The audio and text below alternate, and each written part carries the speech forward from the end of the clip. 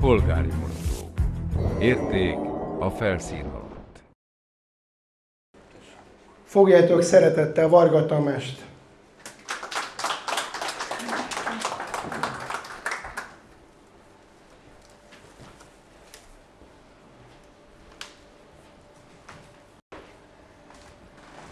Arany János, Pázmán lovak.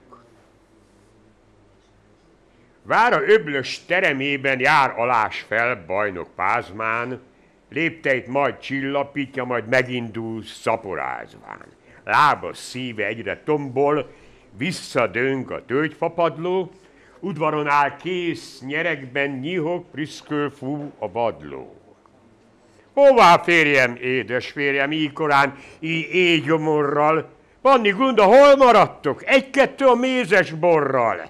Menten itt lesz, boldog Isten, még hajamban nem volt fésű, ha egy percig vár kegyelmed, lesz kalácsom, új sütés. Haja pázmán, elfordulva háza zengő fülmiléjét, csak pirosló füle látszik, az mutatja szenvedélyét. Fejebubján holdvilág van, melyet érsz sisakkal födbe, nem felel, csak egyszer-kétszer. Rossz idő van, édesapjuk, nem tanácslom, hűs a reggel, mond az úrhölgy, befordulsz, visszatér nagy köpenyeggel.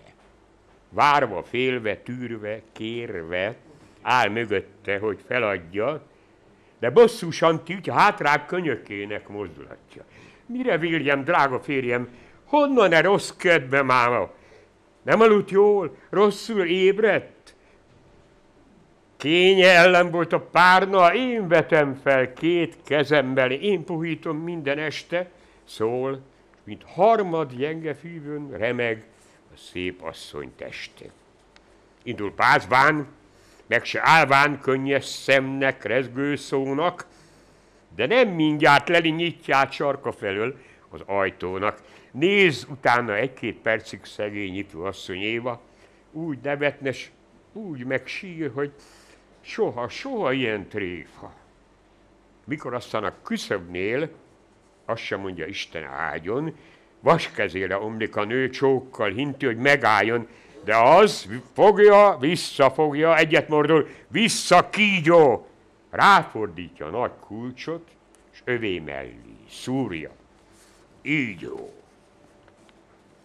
Visegrádon a király van heverő sorral, nem komoly tanácsot ül, nem hadicselt forral, nincsenek is ma körötte nagyszakálú vének, de van öröm, helye, a tánc, muzsika, ének. Oda mene jó lovag, bús haragos pázmány, lépte alatt nyög a föld, csikorog a máravány. Ki dörömböl, ki csörömpöl, ismeri fölsége, kinek az a jó bora volt, s nyalka felesége. Nosza hamar, a baland ő ide rikkancs. Gondolom én mi a baj, hol töri a vakkancs, légy te király, én pedig egyszerű kísértet, mit te kiadsz, itt a szavam, álljon az ítélet összeszedi a bolond setesüt a képét, úgy öli meg a király aranyos karszékét. Oda künn az öreg, aki útját állja a kilenc szobán keresztül döfi taszigája. Megkövettem a király fölséges személyét, nagy harag és nagy panasz nyomja szívem mélyét. Nem vagyok én boros ember, bor nekem a bánat. Megkövetem, ha szabadabb szóra nyitom számat. Jöttek, uram, udvarottól ifjú legények. Mi dolog ez? És ide hazamaradtak a vének? Nem az a baj, uram, király. Más nekem a gondom. Oda jöttek vadászni, fiatalok, mondom. Vadasodat megrohanák, tilalomba törtek. Ej, de hogy uram, annyi van ott. Vigyel az ördög. Annyi a vad erdeimen, se szeri, se száma, de a szóhoz nem jutok, nem lesz vége már ma. Na, este magyar lakomány szívet melegíténk, a királyért, hazáért poharat üríténk. Teleitták magukat, összeverekedtek. Dehogy itták, dehogy itták, szépen lefeküdtek. Reggel, uram, indulnak, köszönik a szállást, Nem fizetik ugye bizony a vacsorát, hálást. Bestek ura fizetésért látni a vendéget, magyar ember nem teszi azt, tudja a főséged. A reggel, uram, valamennyi útnak ered szépen. Az egyik visszaoson. Ez a bajom éppen, azt az egyet, uram, király, raddai szűzre megölöm, ha ma jutok is a gyehenna tűzre. Nagyon illő a panasz, jó lovgam pázmán, ilyen eset még nem esett magyar ember házán, útnak ered a vendég, visszaoson az egyik, azt az egyet megölöd. Hát nagyon helyes eddig. Átkozom is, nem vagyok én se bolond, se részek, hogy valaki ő megy, azért gyilkosan emlészek, de mikor a küszöbön állt, feleségem, Éva, ezen átok megölöm, megölöm, azt még ma. Nagyon okos a beszéd, jól lovagom pázmán, hiba lenne, ha valahogy félre magyaráznám. Feleséged a folyosón, vagy küszöbön állna. Pedig ugye ritka eset volt ez eset nála. Gyilkolom is, uram király, értse meg a szómat. Elrabolá földi kincsem és mennybeli jómat. Megcsókolta, úgy csak éljen. Szemeim láttára. Ej, hogy elébb nem tudnék kapni paripára. Fejedelmi hitemre, és a hit nem szellő, meglakol a vakmerő, a semmire kellő. Tegyen a kar igazságot. Bíjon veled szembe. Hogy is hívják a nevem, nem jut eszembe. A nevét az az, hogy azt nem tudom éppen. De talán meglelem felséget körében. Ez az uram, itt van uram, kutya egy a máját, és kimutatta a lovag magyarok királyát.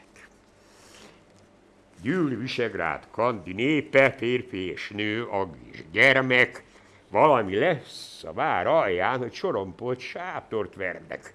A poroszlok ütlegéért nem adják-e mai látást, otthon bacska ül a patkán, ütheti a kőrántást. Kapukor fordul, szárnya kordul, lebeg a toll, kürt harsan, jó vitézek, harcra készek, mind lejőnek gyűlve gyorsan. Zár sisakkal két levente, olyan, mint a kémény seprő, ugyan mutat rá a gyermek, ölve sír az apró seprő. Félre, félre, pálya mérve, fék szorosan, láncsa szögve, jól vigyázz, fuss! Futnak aztán, dobog a föld, mint a nyögde, fogy a térség, nő az ember, pajzs dárda összeroppan, hátra csuklik a jó pázmán, és úgy leszáll, hogy szinte puffan. Tapra bajnok, semmi, semmi, túlugortál a veszélyen, szólam az, felütve siskát, a királyhoz. Éljen, éljen! Amit szeme könyve lábad, de szeme helyt vére budjan, s vérrel együtt három záp fog. Isten engem a királyban, de nem akartam, jó Levente. Három ív fog, aranytérő, és mi bírta volna, nem, de három ív fog, úgy sajnálom, nem mondhatom ki eléggé. Jó, szerencse, ha ezúttal közte nincs a bölcsességé. De íme, jó tanácssal fűszerezem egy kis tréfát, másszor ülj honne, ha bajod nincs, és becsüld meg jobban évát így a fölség. De tanácshoz kalácsban se lett adósa, három fogért, három falu, lőn a díj. Som, sobogy, pósa. Vígan koszoghat a pázmám, tarsolyában kutyabőre, ám szekkérrel asszonyához vásárfia ment előre, kérdi Éva ezt is, azt is, úgy jön neki, mint egy álom, de a férje mindig ezt hajtja. Tartsa Isten, jó királyom!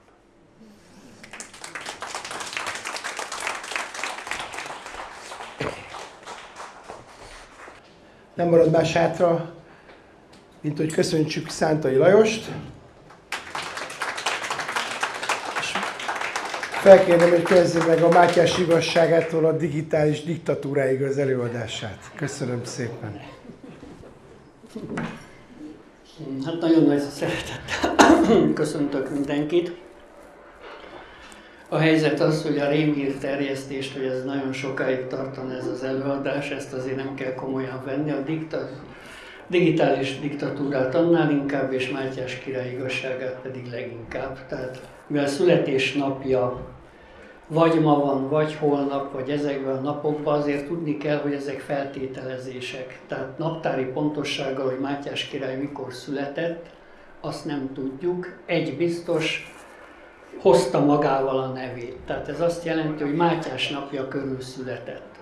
És ilyenkor nyilván jön a kegyes emlékezetbe egy kis kiigazítás, hogy akkor legyen 24-e, február 24-e Mátyás napja, de vannak olyan történészek, vagy ö, művelődés történészek, akik egy nappal korábbra teszik. Egy biztos, olyannal nem nagyon találkoztam, hogy mondjuk 20 negyedike utánra tették volna a születése napját. 1443-ban született, ezt azért kell külön hangsúlyoznom, mert az 1945 előtti történetírásban igen gyakran 1440-et adtak meg.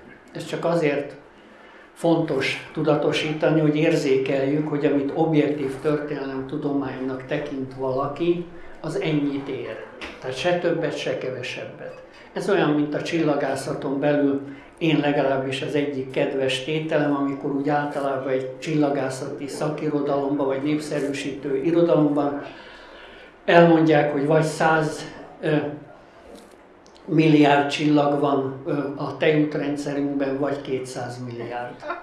Tehát azért gondolom nem kell különösebben magyarázni, hogy mindennek valóban van egy tóligja, és az, amit mi szentírásnak, tudománynak tekintünk, jelen pillanatban a világot minden tekintetbe válságba sodorta. És ez azért nagyon tragikus, mert többek között, ha mondjuk pedagógiai szintről próbáljuk a kérdést megközelíteni, akkor azt mindenki tudja, hogy ha Mátyás király neve valahol felcsendül vagy elhangzik, akkor ott mondjuk óvodáskortól szinte egyetemista korig úgy általában az ember szívét, tehát a iskolára készítő óvoda világán belül, vagy az általános iskola, középiskola, egyetem, egyetemnél már egyre jobban kikopik, középiskolákban már halvány, de még úgy az általános iskolában is egyen lejjebb az óvodás korú ember világával, Mátyás király neve úgy felcsendül, akkor mindig valami belülről ö, átjárja a lelkét és a szívét. És ez azért nagyon érdekes és talán lényeges is, mert utaltam ilyen pedagógiai kérdésekre is, és nagyon sok pedagógus, de itt most óvodás szinten elmondja, hogy nem egy gyerek soha az életben azelőtt mondjuk Mátyás királyról nem hallott semmit, óvodai foglalkozás keretében felcsendül az a név, hogy Mátyás király, és abban a pillanatban a gyerek, mint hogyha régóta ismerné, mint hogyha régi ismerőse vagy barátja, vagy segítője, vagy rokona lépne be az életébe. Tehát ez azt jelenti, hogy van egy érzelmi töltése annak a névnek, hogy Mátyás király. És ugyanakkor pedig Mátyás királyt hazugságon se a kortársai nem tudták rajta kapni, de más kérdés az, hogy mindenki tudja, hogy ha Mátyás királyt meg akarjuk határozni, vagy valamit mondani akarunk róla, akkor egyetlen egy jelzővel lehet a tevékenységét, a küldetését, a feladatkörét, a személyiségét meghatározni, igazságos. Se több, se kevesebb. Na most jelen korban viszont ennél nagyobb kincs, mint az igazság, nem nagyon van. Tehát ez azt jelenti, hogy az igazságnak a kiterjesztése, bizonyos szintekre való kiterjesztése, az az egész világ mindenségre vonatkozik. És hogyha valaki mondjuk az igazság szónak keresi a tartalmát, tehát jelentés rétegeit, akkor a magyar nyelvben nagyon könnyen talál egy nagyon szép lehetőséget, ez pedig az egészség. Tehát az igazság és az egészség a magyar nyelvben minimális másra magánhangzó eltérés révén különböződik meg, de ez azt jelenti, hogy az egész világnak tulajdonképpen az éltető forrása, vagy az egyik éltető forrása, és az egész egészségnek az maga az igazság. Tehát a betegségnek el szokták mondani, hogy ezerféle oka lehet, nyelvi úton egyetlen egy oka van. Az, hogy nem igazságban élünk, nem igazságban vagyunk, és a hazugság, a mellébeszélés, a téveigés, az, hogy hogyan közelítünk pszichológiai szintről, hogy hogyan csapjuk be magunkat, hogyan hazudunk, egy biztos, ha van igazság, akkor van egészség, ha nincs igazság, akkor az egészséget sem lehet megtalálni.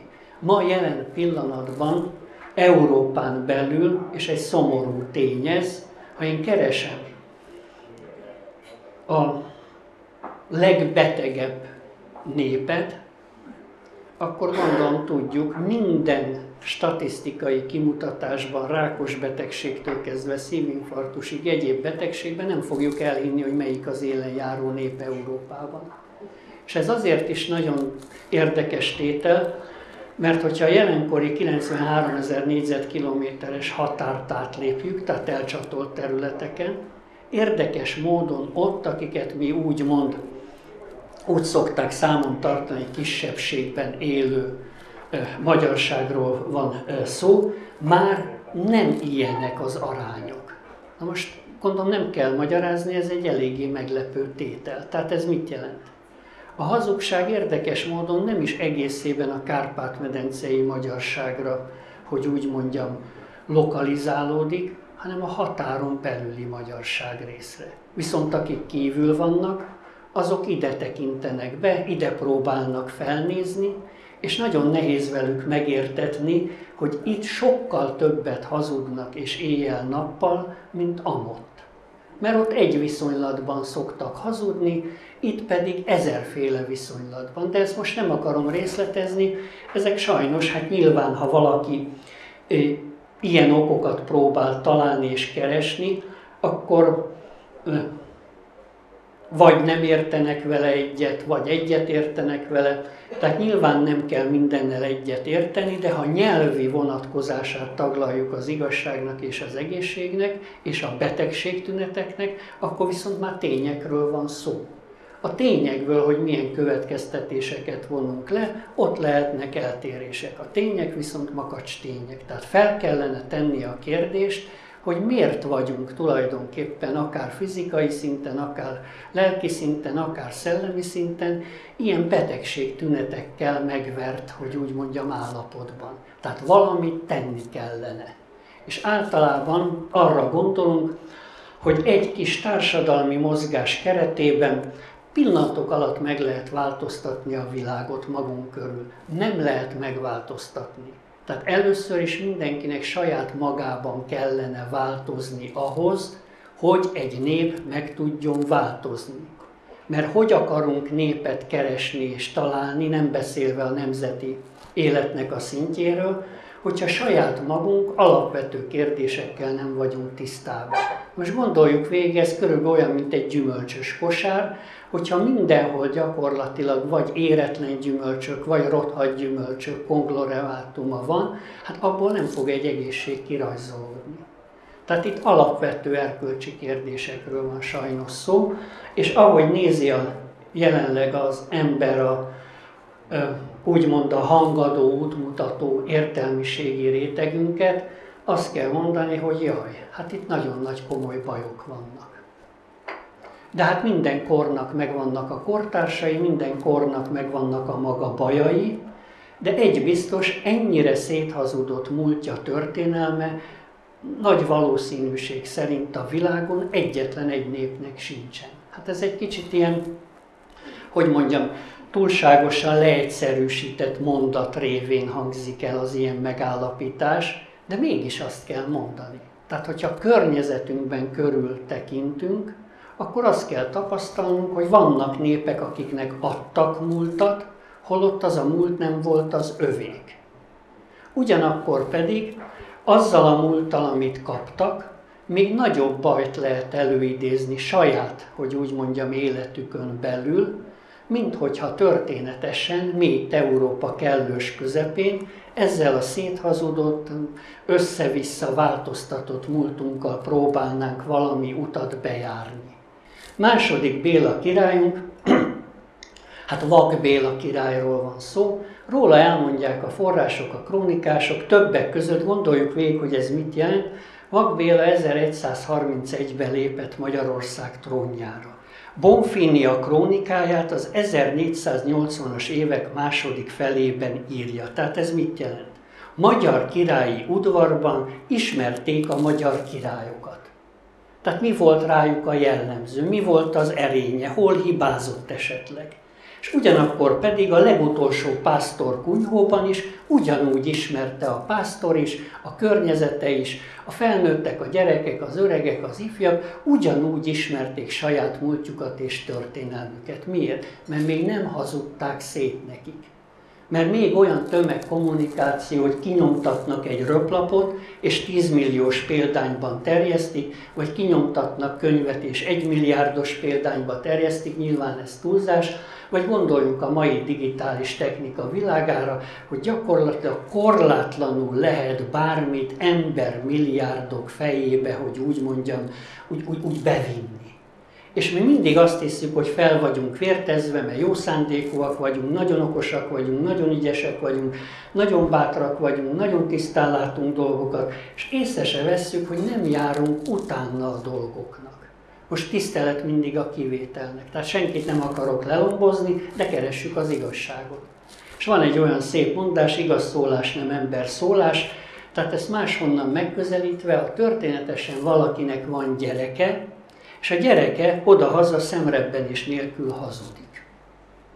Na most akkor egy normális szülő nem azt fogja mondani, hogy a kisfiam vagy a kislányom mekkora igazságot mondott, hanem éppen azért, mert szereti tulajdon gyermekét, figyelmezteti arra, hogy az, ami gyerekkorban jópofa apró kis túlzásnak tűnhet, de könnyen lehet, hogy egy öröklött jellemficamról van szó. Hogy azért figyeljen oda, mert az igazság nem azonos a képzelgő hazugsággal. Ha történetesen az én nagyapám mond olyan dolgokat, anélkül, hogy rosszat akarna, de nem tudja, hogy mi történt. Hát gondolj végig, hogy én például negyedik Béla királyról, vagy Szent István királyról, nagyszüleimről ugyanazt a képtelen idiotizmust hallottam, mint amit mondjuk a történelemkönyvekben olvastam. Tehát itt zárulnak a körök. Tehát itt, itt válik valami, hogy úgy mondjam, nemzedékről nemzedékre hogyan lehet tovább örökíteni a nem tudást nemzedékről nemzedékre hogy lehet tovább örökíteni a bizonytalanságot, a tévegést. Mert mindenki tudja, hogy egy Szent István király, legalábbis ha valaki gondolkodik, hogy csak nem lehetett egy olyan király, hogy kiirtotta a fél magyarságot, csak azért, hogy behívhassa az idegeneket. Ma állandóan ilyenekről szövegelnek, gondoljuk végig. És minden területen megvan osztva a nemzet. Tehát ha történetesen valaki keresi Mátyás király vallásosságát, keresi Szent István király vallásosságát, jelenlegi vallási keretek között jobb, hogyha nem próbálkozik ezt az utat bejárni. Miért? Mert felháborodást fog kiváltani. Mert nincs olyan augusztus 20-ai műsor jelen pillanatban, ahol évről évre elmondanák azt, hogy mit jelent az, hogy a magyar királynak van a keresztény világ történelmében egyedül apostol királyi rangja. Volt már olyan augusztus 20-ai műsor, ahol mondjuk egy püspök, ahol egy főpap, vagy akár egy érsek, olyan kedves nyájassággal, szép tiszta modorral, behízelgő, de most jó értelemben, kedvességgel elmondaná, hogy hát kedves ünneplő közösség, van a magyar kereszténységnek három olyan tétele, ami sehol máshol nincsen. Tehát ez mit jelent? külföldi hittérítők, ha akarták, se tudták volna behozni. Miért? Mert minden normális ember kikövetkezteti azt, hogy külföldi hittérítők hogy tudhattak olyat ide behozni, ami náluk nincs. Most gondoljuk végig. Hogy tudtak egy magyar királynak apostoli rangot adni? Hogy tudtak egy magyar királyságnak egy olyan kötöttséget, hogy úgy mondjam, érvényesíteni, hogy a magyar királyság az nem Szent Péter tulajdona, tudjuk, hogy hol van a kereszténységnek az a része, ami tulajdonképpen Szent Péter alá tartozik. Az a latin kereszténység, az a római kereszténység. Nem tűnik fel, hogy Magyarország Szűz Mária országa? Nem tűnik fel, hogy Szűz Mária öröksége? Nem tűnik fel, hogy Szűz Mária tulajdona? Hát miért tűnne fel? És az sem tűnik fel, hogy egyetlen egy keresztény országnak jogérvényes uralkodónője Szűz Mária? Az összes többi legalább 1000 vagy 1500 éves csúszással való erőlködés, vagy legfeljebb patróna rangban van. És melyik országon belül van egy olyan, hogy úgy mondjam, uralkodói felségjelvény, aminek nincs párja a világon. Miért? Mert sem a formájában, sem a rajta lévő üdvtörténeti rendben hozzáfogható koronát az emberiség történelme nem ismer, és ráadásul van még egy többlet az ügyben, hogy a magyar szent koronát soha nem tárgyként értelmezték. Tudnivaló, hogy még a legszikárabb közjogi, hogy úgy mondjam szinten is, élőlénynek, személy fölötti élő minőségnek tételeződik. Három alapvető tétel. Sehol máshol nincs. Itt van ezt törlik, és akkor, ha Szent István szóba jön, legfeljebb koppányjal. Mert a bunkó magyarok fellázadtak a hazaáruló, de ilyen kis intellektuális magyarok ellen. Gondolom észrevettük, hogy van egy ilyen párosítás. Tehát koppány lehet magyar, de bunkó. Szent István ugyan tényleg, hát még a édesanyja is erdélyi fejedelem lánya, tehát azért ott nem lehet kifogást találni, de tulajdonképpen ő volt az, aki nagyon értelmes volt, és megtanultott bennünket a szolga sorsra. Hogy jobb, ha simulunk, beilleszkedünk, mert abból baj nem lesz, és ha nem simultok, nem illeszkedtek be, akkor majd fegyverrel, külföldi hatalom fegyverével jól lelesztek verve. Gondolom tudjuk, a történelemben ilyen soha nem volt. Legalábbis a magyar történelemben. De mit ad a beidegződés? Még a legjobb baráti társaságokban is, körökben ezek a képzett képzetek uralkodnak. Miért? Mert valamikor a 80-as években született egy remek mű, tényleg remek mű, István a király. És azóta minden augusztus 20-ai műsor kihagyhatatlan, tehát ez olyan, mint odahaza a vénembernek a hálóköntöse, vagy a haj nem tudom, sipkája, vagy mi is az, amit így régi olasz filmekben lehetett látni, hogy Giovanni kijön, és így valami hálósakkal van a fején, hogy a haja viselete úgy reggelre megmaradjon, és a rossz álom kedély világa ne borzolja össze. Na most gondolom érzékeljük, nem véletlenül hozom ezeket a példákat elő, mert meg vagyunk győződve, a társaság egyik része úgy gondolja, hogy na itt elhangzottak igazságok, másik része úgy gondolja, hát nem, mert ez biztos nem így van. Na most itt van a probléma, a nemzet ott kezdődik, hogy mindenki ugyanúgy tudja a lényeget és ugyanakkor, mivel nincs két egyforma virág a virágos réten, nincs két egyforma fűszál, nincs két egyforma teljesen emberi arc, 8 milliárd embertársunk arcát, hogyha megvizsgáljuk, ez nem azt jelenti, hogy egyöntetősítünk, hanem van egy egységes forrás. Ha nincs meg az egységes forrás, mi bármit csinálhatunk, legfeljebb, ha katasztrófa van, akkor jönnek a nemzet igazi erényei. Egyelő miért? Mert bárhol, bármikor önzetlenül segítünk bárkinek. Gondolom tudjuk a legnagyobb humanitárius segítséget jelen pillanatban Ukrajnának Magyarország adta. Tehát iskolák, óvodák, gyógyszerek, amit el tudunk képzelni. Soha egy köszönő szó nem hangzott el azóta se. Sőt, ki a háborús főbűnös? Lassan uda, ugyanoda jutunk, ahova az első világháború idején, második világháború idején, miközben öldöklik egymást, egy úgynevezett bűnös népet megint úgy próbálnak, úgy Európa kellős közepén piedesztálra állítani, bár ez egy fogalmazásbeli ellentmondás, de hogy érthető legyen. Addig tudnak velünk szórakozni és játszani így, amíg saját magunkat nem vagyunk méltóak, hogy úgy mondjam, kicsit jobban megismerni. És azért ezek mindig olyan teszthelyzetek, most visszatérve második Béla, Vak Béla királyra, vak volt. Róla pedig mit ír a krónika? Abban a pillanatban, ha valakivel szóba állt, a hangjáról az illetőt fel tudta mérni. Tehát tudta, hogy kivel beszél. Ezért mindenkinek ajánlom egyébként, hogy rádióműsorokat hallgasson. Miért? Mert ott van egy hanghatás.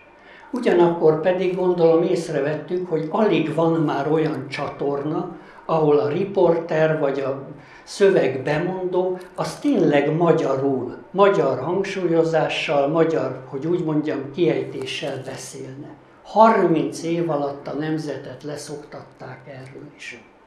Az ember megdöbben. És néha olyan csatornákon, hát amit nagyon olyannak tekintenek, tehát nem piros-fehér-zöldnek, még szebben beszélnek magyarul. Szóval valami egészen elképesztő felfordulás van ám ebben a világban. És hogy szó legyen még egy apróságról, annak idején, mert az, hogy vannak lélektani manipulációk, azt azért mindenki tudja. Tehát ez azt jelenti, hogy amióta mondjuk a film megjelent a világban, a filmezési lehetőség, én gyerekkoromban soha nem értettem, hogy hogy lehetséges az, hogy Magyarország szovjet katonai megszállás alatt van, és amerikai filmek mennek a mozikban. Emlékezzünk vissza. Mert mind a két irányból már akkor meg voltunk szállva, pont. Világos? És amikor 1990 körül az egyik kitette a lábát, a másik már a tasszári bázisra betette a lábát. Na most erről ennyit, de mi úgy éltük meg, hogy milyen szabadok leszünk. Na most egy biztos, az igazság az szabaddá tesz, gondolom tudjuk evangéliumi mondást. Tehát az igazságnak van egy titka.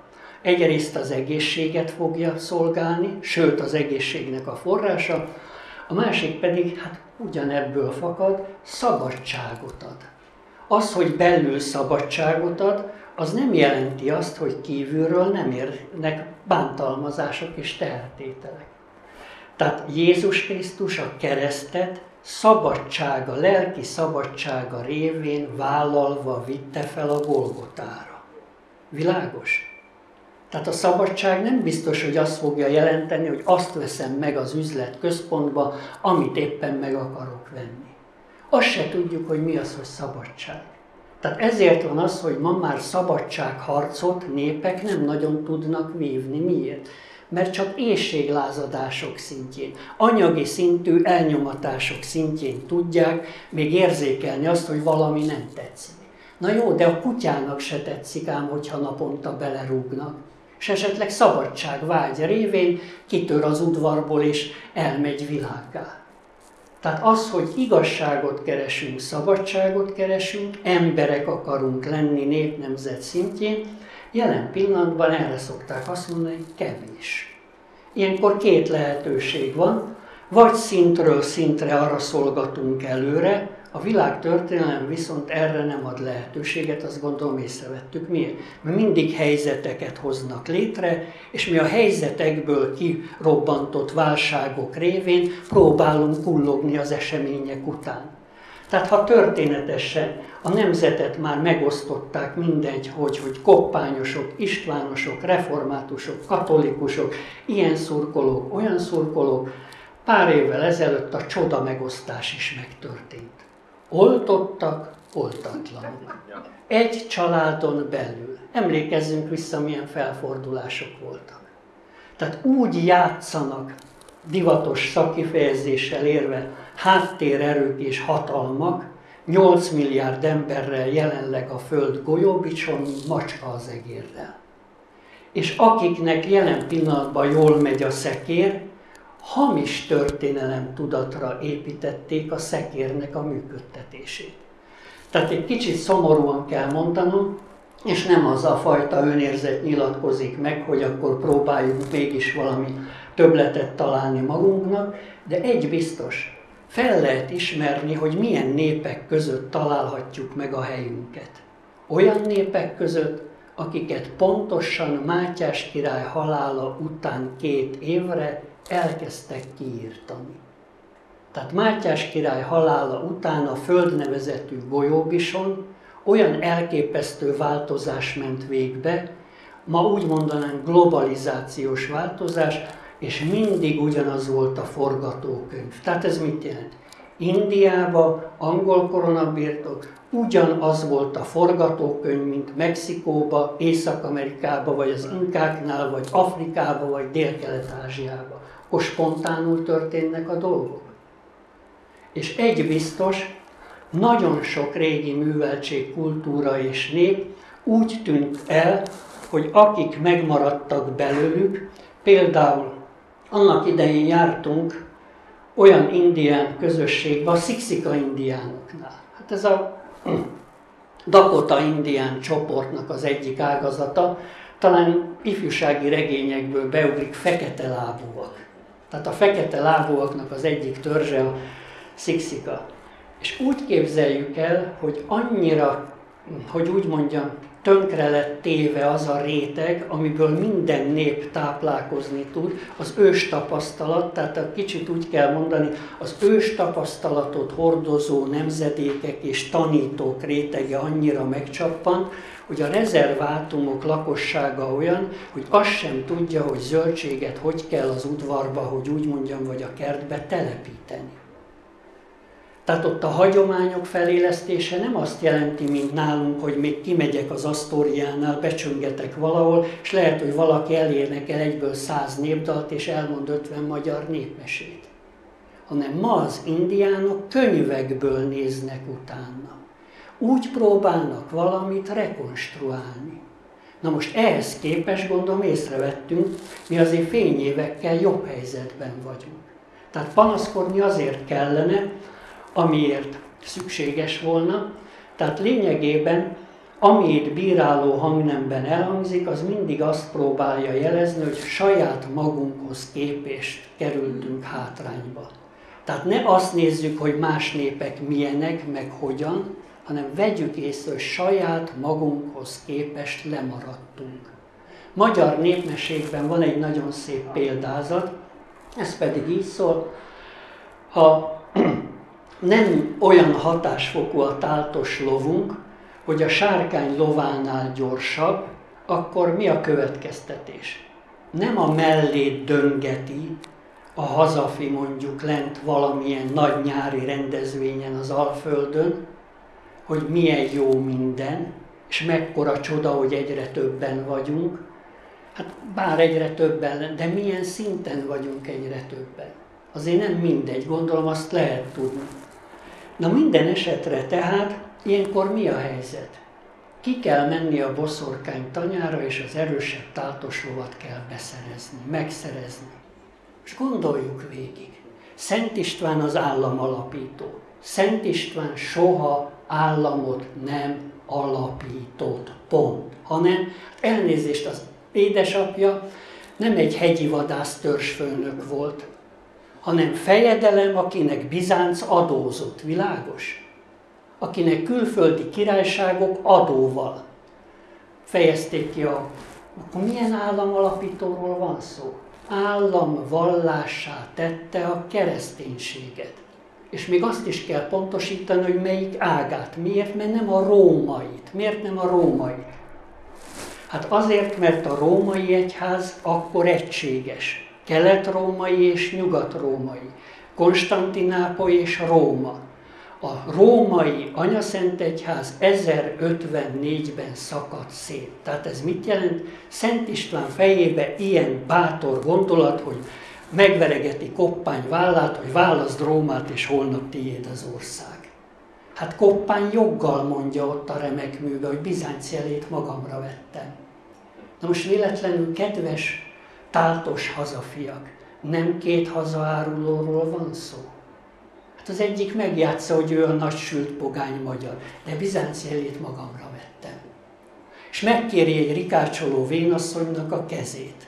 Jó, hát én ezt ifjú korában, koromban láttam úgy a filmben, ma már úgy nézek Berek Katira, hogy, hogy hú, hát azért igen, igen, igen. Csak hát egy koppány, egy dalia volt. És a kis hölgyeinek pedig mit mond?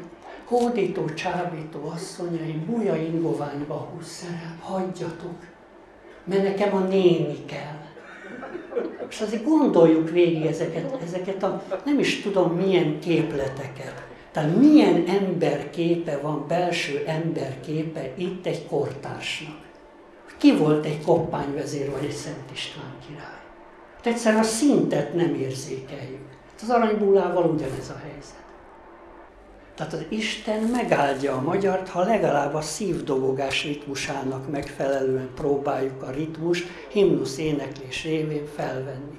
Észre se vesszük, hogy naponta temetkezünk. Gyakorlatilag ennél illusztrisabb temetkezési vállalatot már nem lehet találni időnként. És miért nincsenek világos célok? Miért nincsenek? Mert nincs világos történelmi múltunk, nincs rendbe téve. És amikor valamikor úgy 10-20 évvel ezelőtt, erre utaltam bevezető mondatok első köreiben, az ember egyszer csak meglepve tapasztalt valamit. Már akkor rég túl voltunk azon, hogy a Nándorfehérvári diadal déli harangszóval semmiféle valódi kapcsolatban nincsen. Egyébként annyira van, hogy az országház egyik legillusztrisabb belső épületének, ahol miniszterelnöki dolgozószoba is van, az a Nándorfehérvár terem. És a Nándorfehérvári teremben, nem tudom, hogy ki járt ott, van egy hatalmas nagy festmény. A déli harangszó alleri, allegóriája. És ez mit jelent? Római pápák, hát gyakorlatilag most már egy évszázados nagyság, látták. Soha római pápa nem nyilatkozott úgy, hogy a magyarok rosszul tudják, hanem itt megy éjjel-nappal a szöveg. Miért?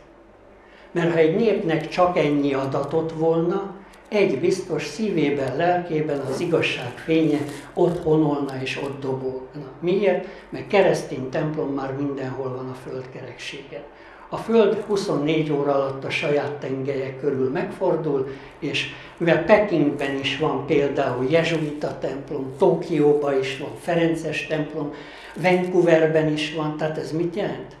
A déli harangszó körbe harangozza a Földet. Világos? Most gondoljuk el ennek a kozmikus történelmi nagyságrendjét. Melyik az a nép, amelyik el tudja magáról mondani, hogy fél ezer éve megtörténik helyi idő szerint mindig álló délben. Miért? Mert álló délben van a nap aznapi látszólagos útjának a legmagasabb pontján. Tehát ez azt jelenti, hogy akkor van a legtöbb fény. És mikor szól a harang helyi idő szerint? Amikor a legtöbb fény van. És mit hirdet? És ez már nem hétköznapi történelem. Ezt nevezik üdv történelemnek. És az, hogy mondjuk egy német vagy francia jezsuita Pekingbe ezt nem tudja, csak automatikusan ragaszkodik, hogy állódélben szóljon a harang, mit lehet erre mondani? Nem az ő hibája, hogy nem tudja, hanem már egymást oktatjuk ki. És én hallottam olyan, ö, ö, és ez nem műsorkritika, csak hogy érzékeljük azt, hogy ez tényleg aztán a nemzeti érzéseknek a hírközlő egyik ágazata volt. A nagyon szépen, kedvesen, behizelkedő hangon elmondja a hazafi, miért, mert rádióban, ha valaki beszél, akkor egyszerre sokakat tud megszólítani. Na most ez jelen korunknak a legveszélyesebb dolga. Miért? Nem azért, mert nem kell szabadság, hanem széthazudjuk a világot magunk körül. És akkor mind tudjuk, kedves rádióhallgatók, de persze mindenhol kokárda van, mindenhol leng, turulok röpködnek gyakorlatilag az adásidő alatt, Hát, mint tudjuk, hát a déli harangszó nem is azért van, mert augusztus 6-át a Urunk színeváltozásának napját iktatták be megfelelő módon az ünnepi kalendáriumban, mert a Szent Atya, a római pápa akkor tudta meg. Most a római pápa azt, ami július 22-én történt, karnyújtásnyi távolságra sorsdöntő csata Városton révén, ha az augusztus 6-án tudta volna meg, már elnézést, ez megint csak ide való hát azért akkor is volt sokkal gyorsabb hírközlési lehetőség. Hát ma is, de nem is akarom én ezt részletezni. A lényeg az, hogy valamit azért tényleg tudjunk meg, mert Hunyadi János fiáról van szó Mátyás király esetében. Tehát a római pápa tényleg még a Nándor-Fehérvári diadal előtt elrendelte a déli harangszót. Körülbelül Szent Péter napján. 27-én, hogyha jól emlékszem, június 27-én. És mi volt ennek a lényege? Az, hogy július másodikán már a török hajókat, ahogy úsznak fel a gályák a Dunán, már lehetett látni. Most ez mit jelent? Kicsit későn tetszettek kezdeni a harangozást. Tehát mi volt ennek a lényege? Európa fővárosainak vagy nagyvárosainak főterén gyűjjön össze az, aki keresztesként segíteni akar a magyar népnek. Na jobb későn, mint soha, viszont július 22-én Mária Magdolna napján bekövetkezik a diadal. Július 22-én. És utána nincs olyan rendelet, hogy a Szent Atya, a római pápa kiad egy bullát, mondván, oka fogyottá vált és érzékeny füleinket ebédidőben sérti a déli harangszó, tehát csönd, nem kell harangozni, hanem megerősítik, hogy kell is bizony harangozni. Tehát ez mit jelent? Ez azt jelenti, hogy ne egy lineáris időrendet vegyünk figyelembe, hanem egy lényegi tartalmat. És a lényegi tartalom mit jelent? Egyetlen egy nép se jelzi a Földön történelmi jelenlétét úgy, mint ahogy itt megtörténik, hogy 24 óra alatt a magyarság a Föld minden pontján hírt adhat magáról. És ha megkérdezem egy beteg világban, hogy a legtöbb kórház megint csak Afrikától, óceáni szigetektől, Amerikákig, Ázsián át, kinek a nevére van eljegyezve? Árpádházi Szent Erzsébet. Tehát itt vannak a gondok. Egy-két alapvető dolgot kellene tudnunk, de azt nagyon és a sok érdekes, a turáni átoktól kezdve a nem tudom milyen idióta cifraságokig, meg tele van a fejünk. Mert jól hangzik. Hú, de jól hangzik. Most az igazság az sokkal jobban hangzik, nyilvánvaló módon keressük, nem biztos, hogy meg fogjuk találni, de legalább az ember megpróbálja keresni. És van egy belső igényesség. Csak nem hiszem el, hogy egy Mátyás király olyan lenne, hogy egy mai történész, aki egyedül egy buszjegyet a buszon, ez én volnék, de nem vagyok történész, mondjuk ki sem tud lukasztani. Hogy az mond értékítéletet, hogy nem is volt jó király, nem is volt nagy király. Hát odahaza a felesége esetleg naponta elveri, a gyerekek visszaszövegelnek neki. Tehát egy ilyen teszetosszák azok, akik naponta bennünket kioktatnak, hogy milyen volt a múltunk. Most egy Mátyás király, nem európai középhatalom, a magyar királyság nem, ja így szokták mondani, közép-európai középhatalom. És az ember megdöbben, magyar királyságon kívül van más hatalom Közép-Európában? Hogy érthető legyen? Összevetve a német-római császárral, vagy a bizánci császársággal, magyar királyság mindenféleképpen erősebb, hatékonyabb, magasabb rendű jogkörökkel rendelkezett, mint bármelyik uralkodó kollega ezer éven keresztül Európában. De miért nem ezeket tanítják? Persze ezek költői és patetikus kérdések.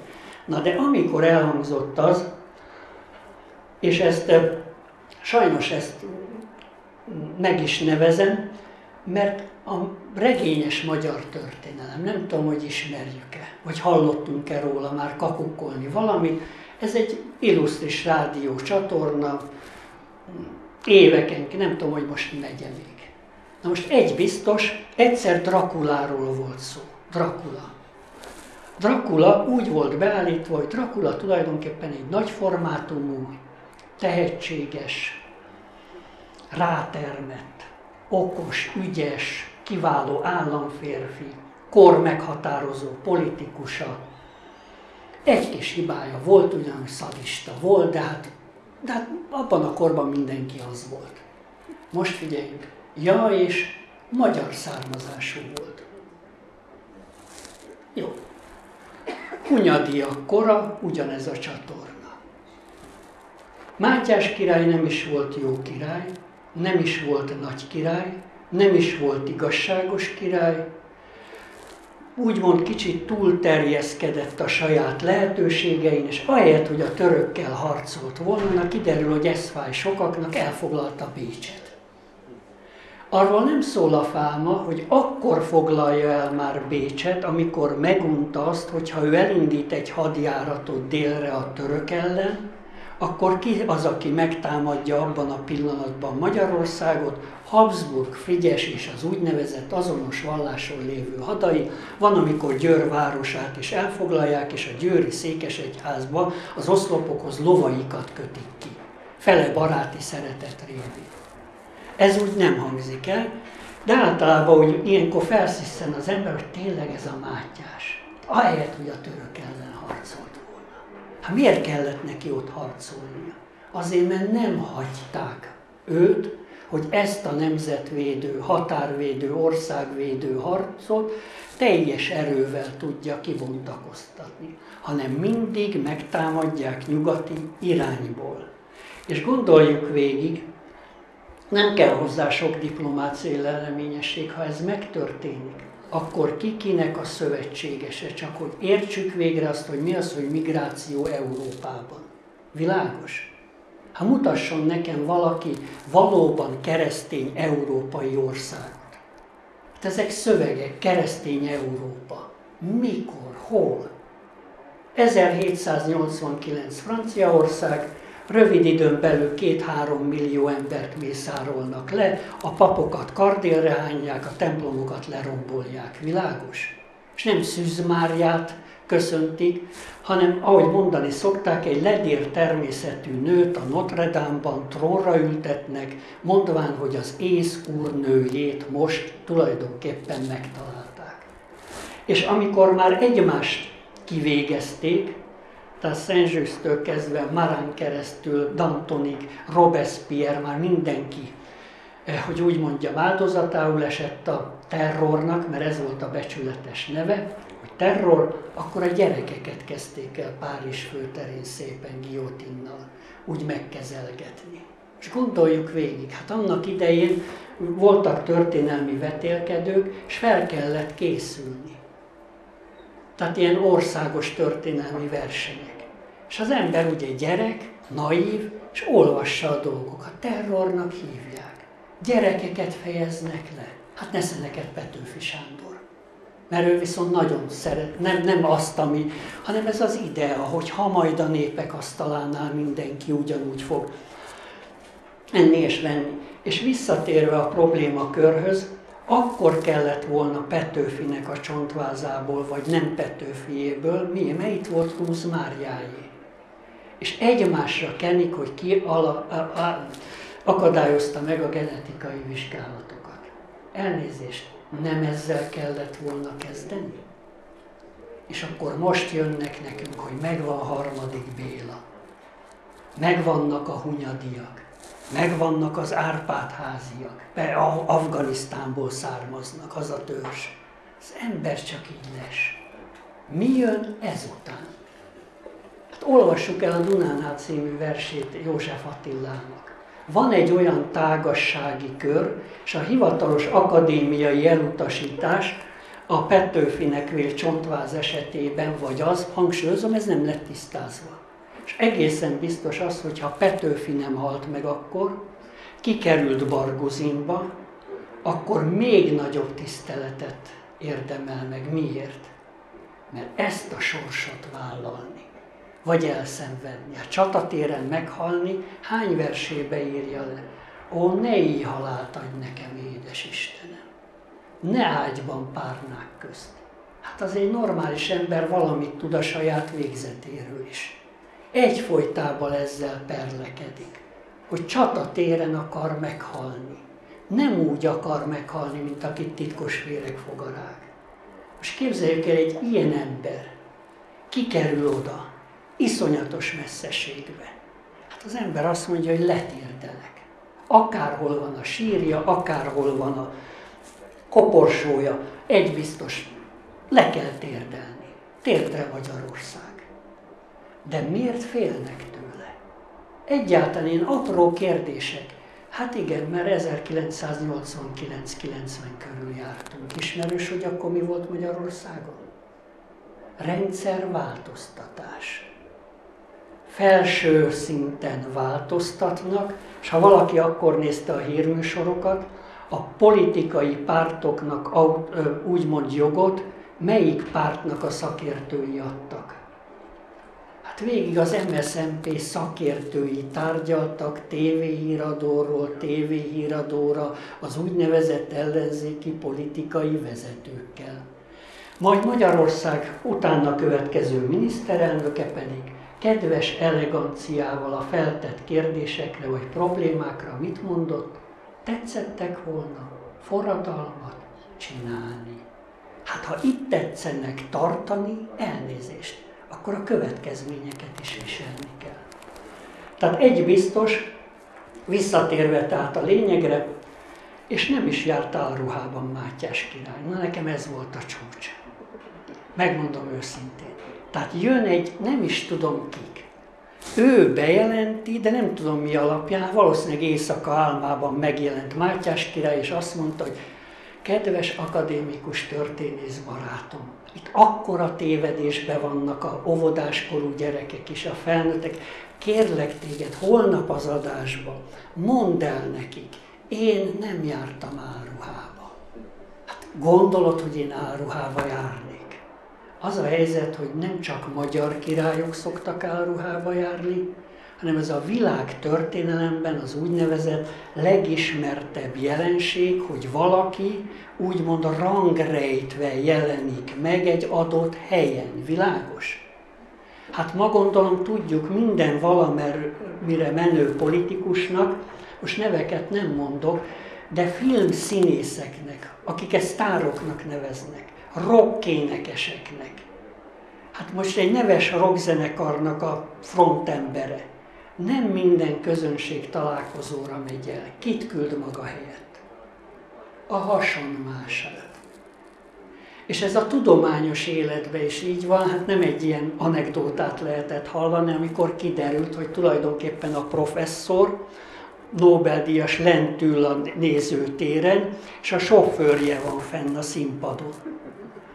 És amikor viszont a sofőrjének feltettek egy kereszt kérdést, zseniálisan oldotta meg a sofőr, aki a professzor szerepét játszotta, valódi tudományos konferencián. És azt válaszolta a feltett kérdésre, aki szinte egy Nobel-díjas atomfizikus volt, hogy ez olyan egyszerű erre megválaszolni, megkérem a sofőrömet, ott ül a nézőtéren, hogy adjon erre választ. Na minden esetre csak azért mondom el, hogy vannak elég humoros jelei is annak, amit általában mindenki tud, de Szent István legendájában olvasható, hogy álruhába járt. Ugyanakkor pedig lemegy éjszaka a koldusok közé, koldusnak öltözve. Ugyanakkor pedig Kun László király, na ez a legkedvesebb tétel, a krími tatárok, tehát Kárpát-medencén túli tatárok táborába ment, álruhába. Most, hogy hogy csinálta, én ezt nem tudom. Az Esztergom érsek, Lodomér Esztergom érsek, onnan tudjuk, hogy megmaradt az úgynevezett olyan levele, amit a római pápának írt a király ellenébe, hogy ez a király mit művelt itt eddig. És ebben az esetben, megmondom őszintén, én Kun László királynak drukkoltam mindig minden időben, de ez tényleg meredek húzás volt. Csak azért jelzem, hogy érzékeljük, hogy Nagy Lajos királyról írja Bonfini, Mátyás király humanista történetírója. És emlékezzünk, hogy a Toldi szerelme Arany János művében így kezdődik. Hát Nagy Lajos hogy toppan be abba a házba? Nem úgy, hogy ő Nagy Lajos magyar király, hanem egy ilyen rozzant ló és egy deáknak kinéző ember. És leírja Bonfini, hogy Nagy Lajos sokszor álruhában a legutolsó parasztkunyhót is felkereste, távol a budai palotától, és amikor már régen befogadták a vándort, és mindig úgy alakította a beszélgetést, hogy rákérdezett, hogy maguk szerint milyen ez a király. És akkor kapja az igazi választ, úgymond nem médián keresztül, hanem belső tapasztalatból, és nem úgy, hogy itt a miniszterelnök, tehát akkor mást fogunk mondani, álruhában. Egy nagy Lajos. Na most Mátyással mi a probléma? Az, hogy egy olyan hagyománykört képvisel Mátyás király, ami gyakorlatilag mitikus, kozmikus, ügytörténeti szinten majdnem páratlannak tekinthető. Ugyanis például Kríza Ildikó is nem egy munkájában elmondta, és mások is megfogalmazták egyébként, hogy úgymond Mátyás hagyománykörön belül az, hogy ő álruhában jár, ez ókor óta a földre szállt istenségeknek a sajátossága. Tehát ez mit jelent? Tele van a népmesei mondai hagyományunk azzal, hogy Jézus Krisztus és Szent Péter itt jár közöttünk. Na de amikor betoppannak, nem mondják azt, hogy én vagyok a Jézus Krisztus, hát én meg Szent Péter, hanem úgymond rangrejtve. Tehát az isteni tulajdonságkör rangrejtett állapota egy nagyon magas eredendő szinten az, hogy áruha. És még valaki. Ha valaki országot vezet, akkor törekedjen arra, hogy ne a talpnyalóra hallgasson. Tehát ez mit jelent? Ez azt jelenti, hogy utána jár dolgoknak. Tehát személyesen akar meggyőződni. És mivel barát is, ellenfél is, ellenség is, kortársak elmondják, hogy hadjáratok alkalmával Mátyás király, akár várostrom, akár hadjárat, sokszor áruhába öltözött, hogy az ellenség táborát kikémlelje. Na most egy történész, gondolom tudjuk, ezeket a szöveggyűjteményben lévő kortárs adatokat ismeri. Ha nem ismeri, óriási probléma, de még nagyobb probléma, ha ismeri. Miért? Mert akkor tudatosan és vállaltan hazudik. És vezet félre nagyobb közösségeket. És az, hogy a gyerek társadalomban Mátyás király, és itt jön a lényeg, egy nemzet igazságérzete.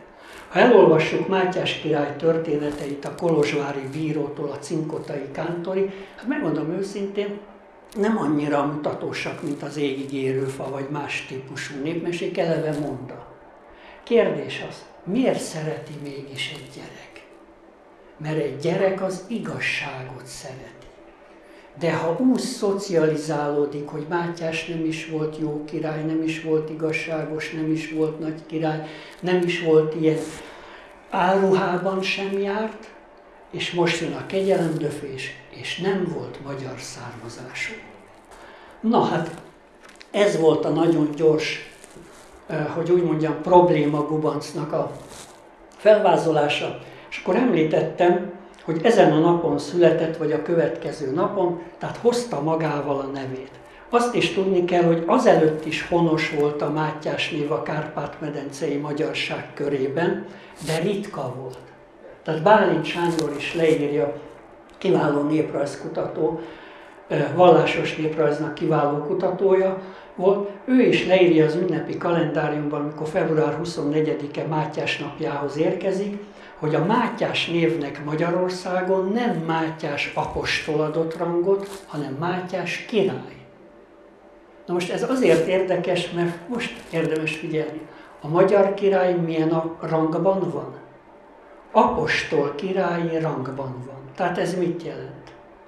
Mátyás apostol és Mátyás király egy bizonyos szinten valamilyen viselkedés mintázatot fognak képviselni. Miért? Mert nomen est omen.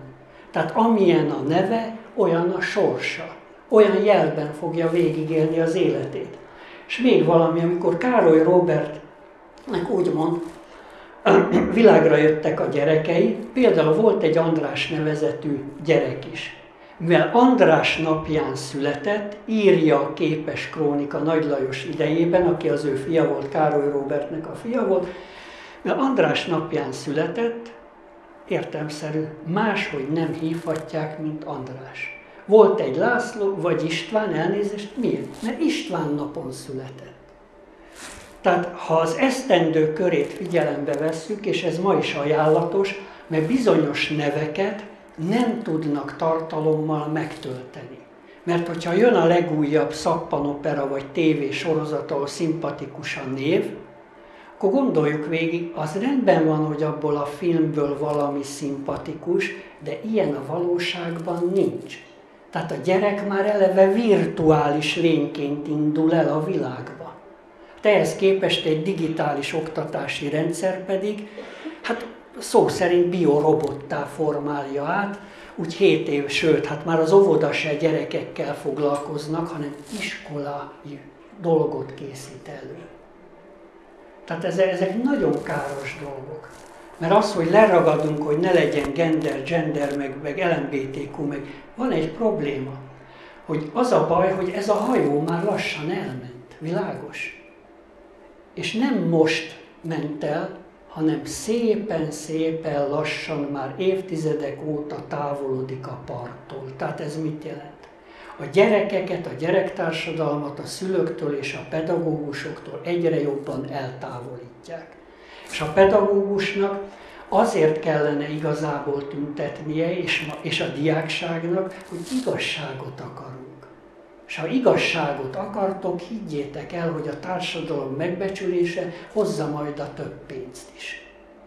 De az, hogy 7 éves kortól egyetemista korig matematika, matematika, matematika, matematika, mikor használja egy gyerek eredendően a jobboldali agyféltekéjét? Soha gyakorlatilag. Tehát egyszerűen már agykutatók évtizedekkel ezelőtt figyelmeztettek, egy új állatfaj alakult ki a földgolyóbison, földkerekségén a baloldali agyféltekés ember. És miért nem az ellen, kedves szülők, megtanul az a gyerek számolni időben. De nem kell az, hogy minden nap legyen öt számtanóra, mi? Mert szétszámolja az eszét és nem tudja kiszámítani saját életét. Miért? Meg zűrzavart és káoszt fog okozni. És ilyenkor már nagyon nehéz ám egy társadalmat úgy megváltoztatni, ahogy általában egy jobb érzésű ember szeretné. Miért? Mert ilyenné vált. Hát hány olyan gyerek van, aki nem tudja az igazi tejet meginni? A zacskós tejet. Rá van írva a dobozra, tejre, mondjuk 2023, február 23-a van, ma készült, hogy 2024. január 1-ig a szavatossági idő. Akkor az micsoda? Folyékony vegyszer. Azt issza, de az igazitól írtózik. És ezek nagyon apró tünetjelek, hogy vegyük észre, hogy le lehet cserélni ám a világot körülöttünk. Tehát nem vesszük észre, hogy álmodozni még álmodozunk, de közben olyan változások mentek végbe, hogy nehéz. Tehát két út áll előttünk. Vagy fokról fokra javítunk a helyzeten, ez azt jelenti, hogy mindenki, aki rátalált a saját pályájára, életútjára, evangélium nyelvezettel élve, vegye fel a saját keresztjét és kövesse a világ világosságát. Ez az út, ez kikerülhetetlen. Ezen belül van az, hogy fokozatosan elérünk eredményeket, de olyan a globalizációs helyzet a földkerekségen, erre nincs lehetőség. Tehát ez mit jelent? Csak akkor térünk magunkhoz, amikor az élettől kapunk egy nagyon nagy pofont. Ezt viszont senkinek nem kívánja az ember.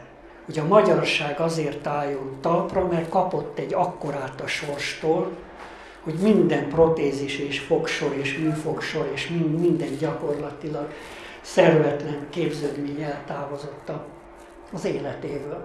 Tehát az ember érzi, hogy na most padhelyzet van. Mert az egyiket nem biztos, hogy túlélnénk. A másikra pedig nincs időnk, meg lehetőségünk.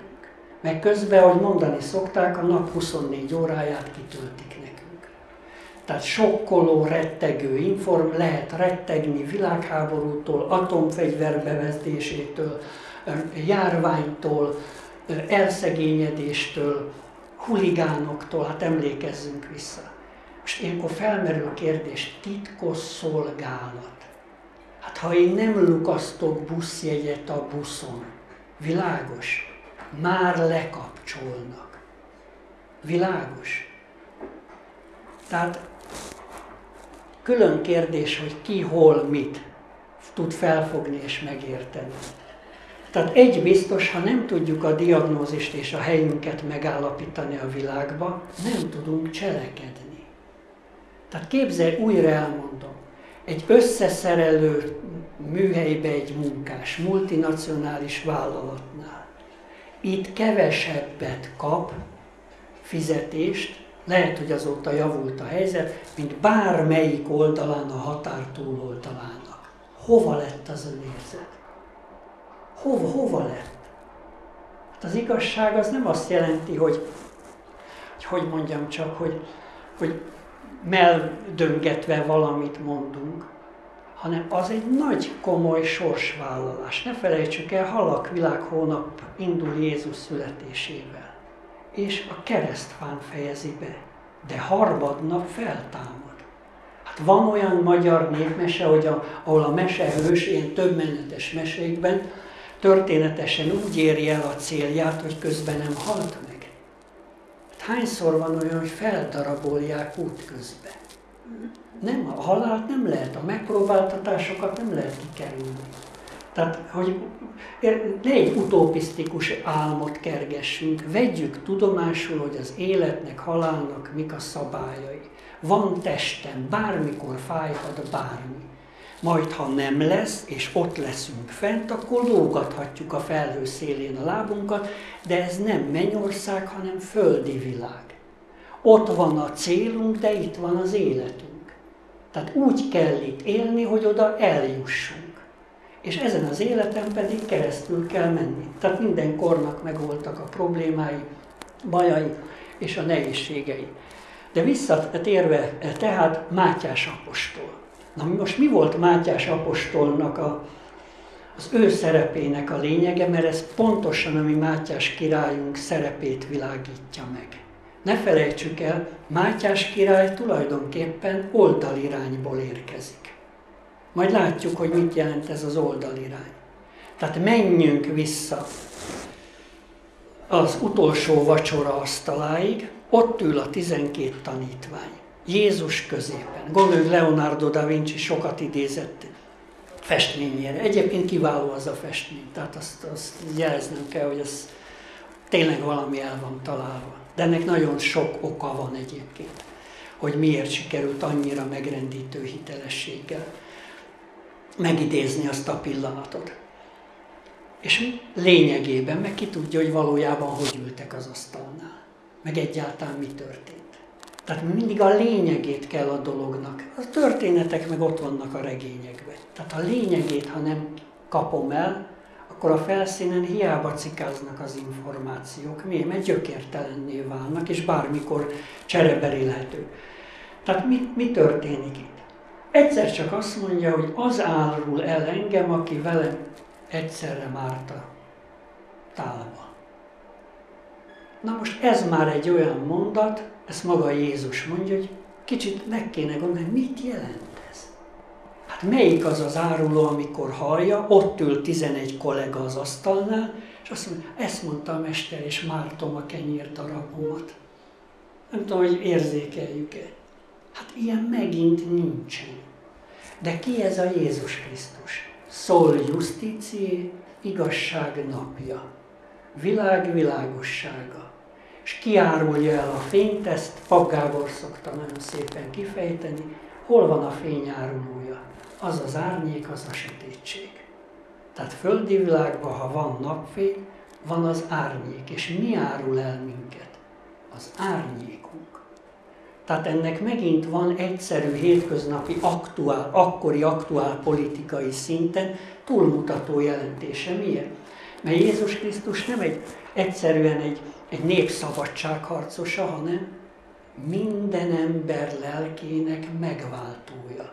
Az Istennek a fia, világos? Ezt a dolgot naponta hangsúlyozzuk, a történelmit állandóan igazgatjuk, és a kettőt ami összeköti a lényeget, ez a léleknek a szintje, az teljes egészében kiadjuk a számításból. Minden esetre Júdás elárulja Jézust. És figyeljünk oda, mert nagyon lényeges ügyről van szó. 12 apostol közül az egyik kiesik. Na most ez mit jelent?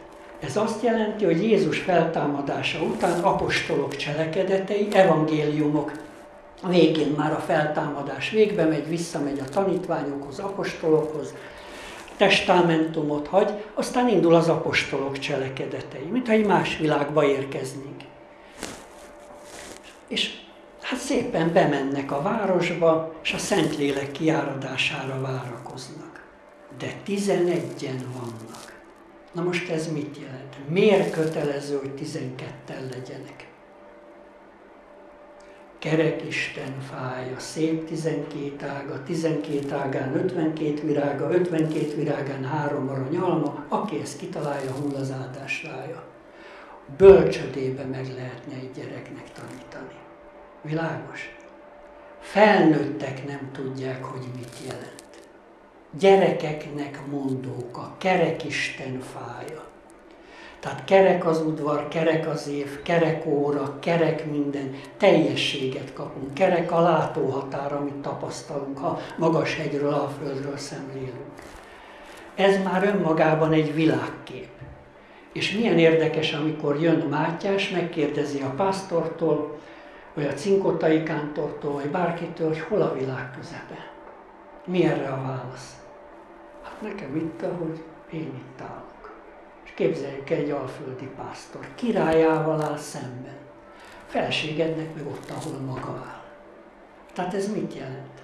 Nem tudjuk úgy a látóhatárt szemlélni, hogy ne úgy érzékeljük, hogy ennek a körnek hol van a központja azok mi magunk vagyunk. És nem véletlenül járja a mondai hagyományban Mátyás az országot, és teszteli a népet. Bár most járna. Mindig a legegyszerűbb tanításokhoz térünk vissza. Amit mindig úgy, hát milyen jó, milyen kedves, milyen jó pofa, milyen aranyos, nem erről van szó.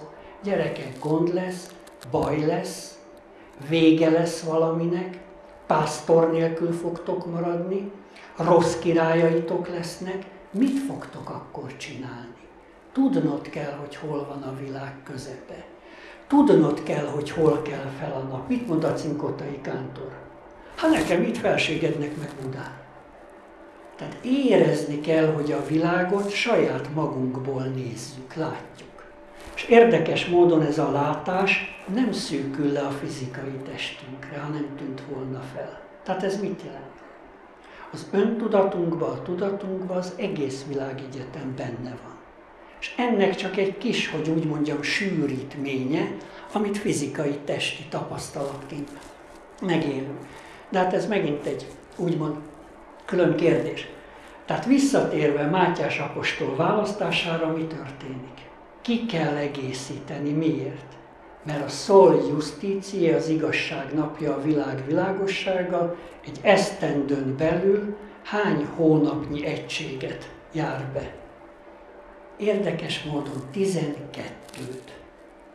Tehát, amennyire ez érdekes, annyira lényeges, mert az egyiket kettő közül választanak az apostolok.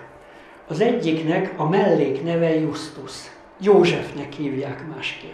Most a Justusból már ki lehet olvasni azt, hogy itt a justiciához valaminek köze lesz. Az már az igazság felé indul. A másik pedig Mátyás. És az apostolok sorshúzással kinek a nevét húzzák? Nem babona ez? Nem pogányság? Mit csinálnak az apostolok? Addig-addig imádkoztak, még sorsot húztak. Hát ez babona kérem. Igen, 2000 év, most idézőjelben mondom, remélem értékeljük, hogy, hogy ez a legkevesebb, tehát ráhagyatkoznak valamire. És Mátyásra esik a választás. De mi történt közben? Egy hatalmas nagy baj történt. Valaki elárulta a fényt. Valaki elárulta az igazságot. Valaki elárulta az igazság napját. Valaki elárulta a megváltót nem tudta elviselni azt a terhet, ez egyébként érthető, de van egy érdekes dolog, Szent Péter is áruló.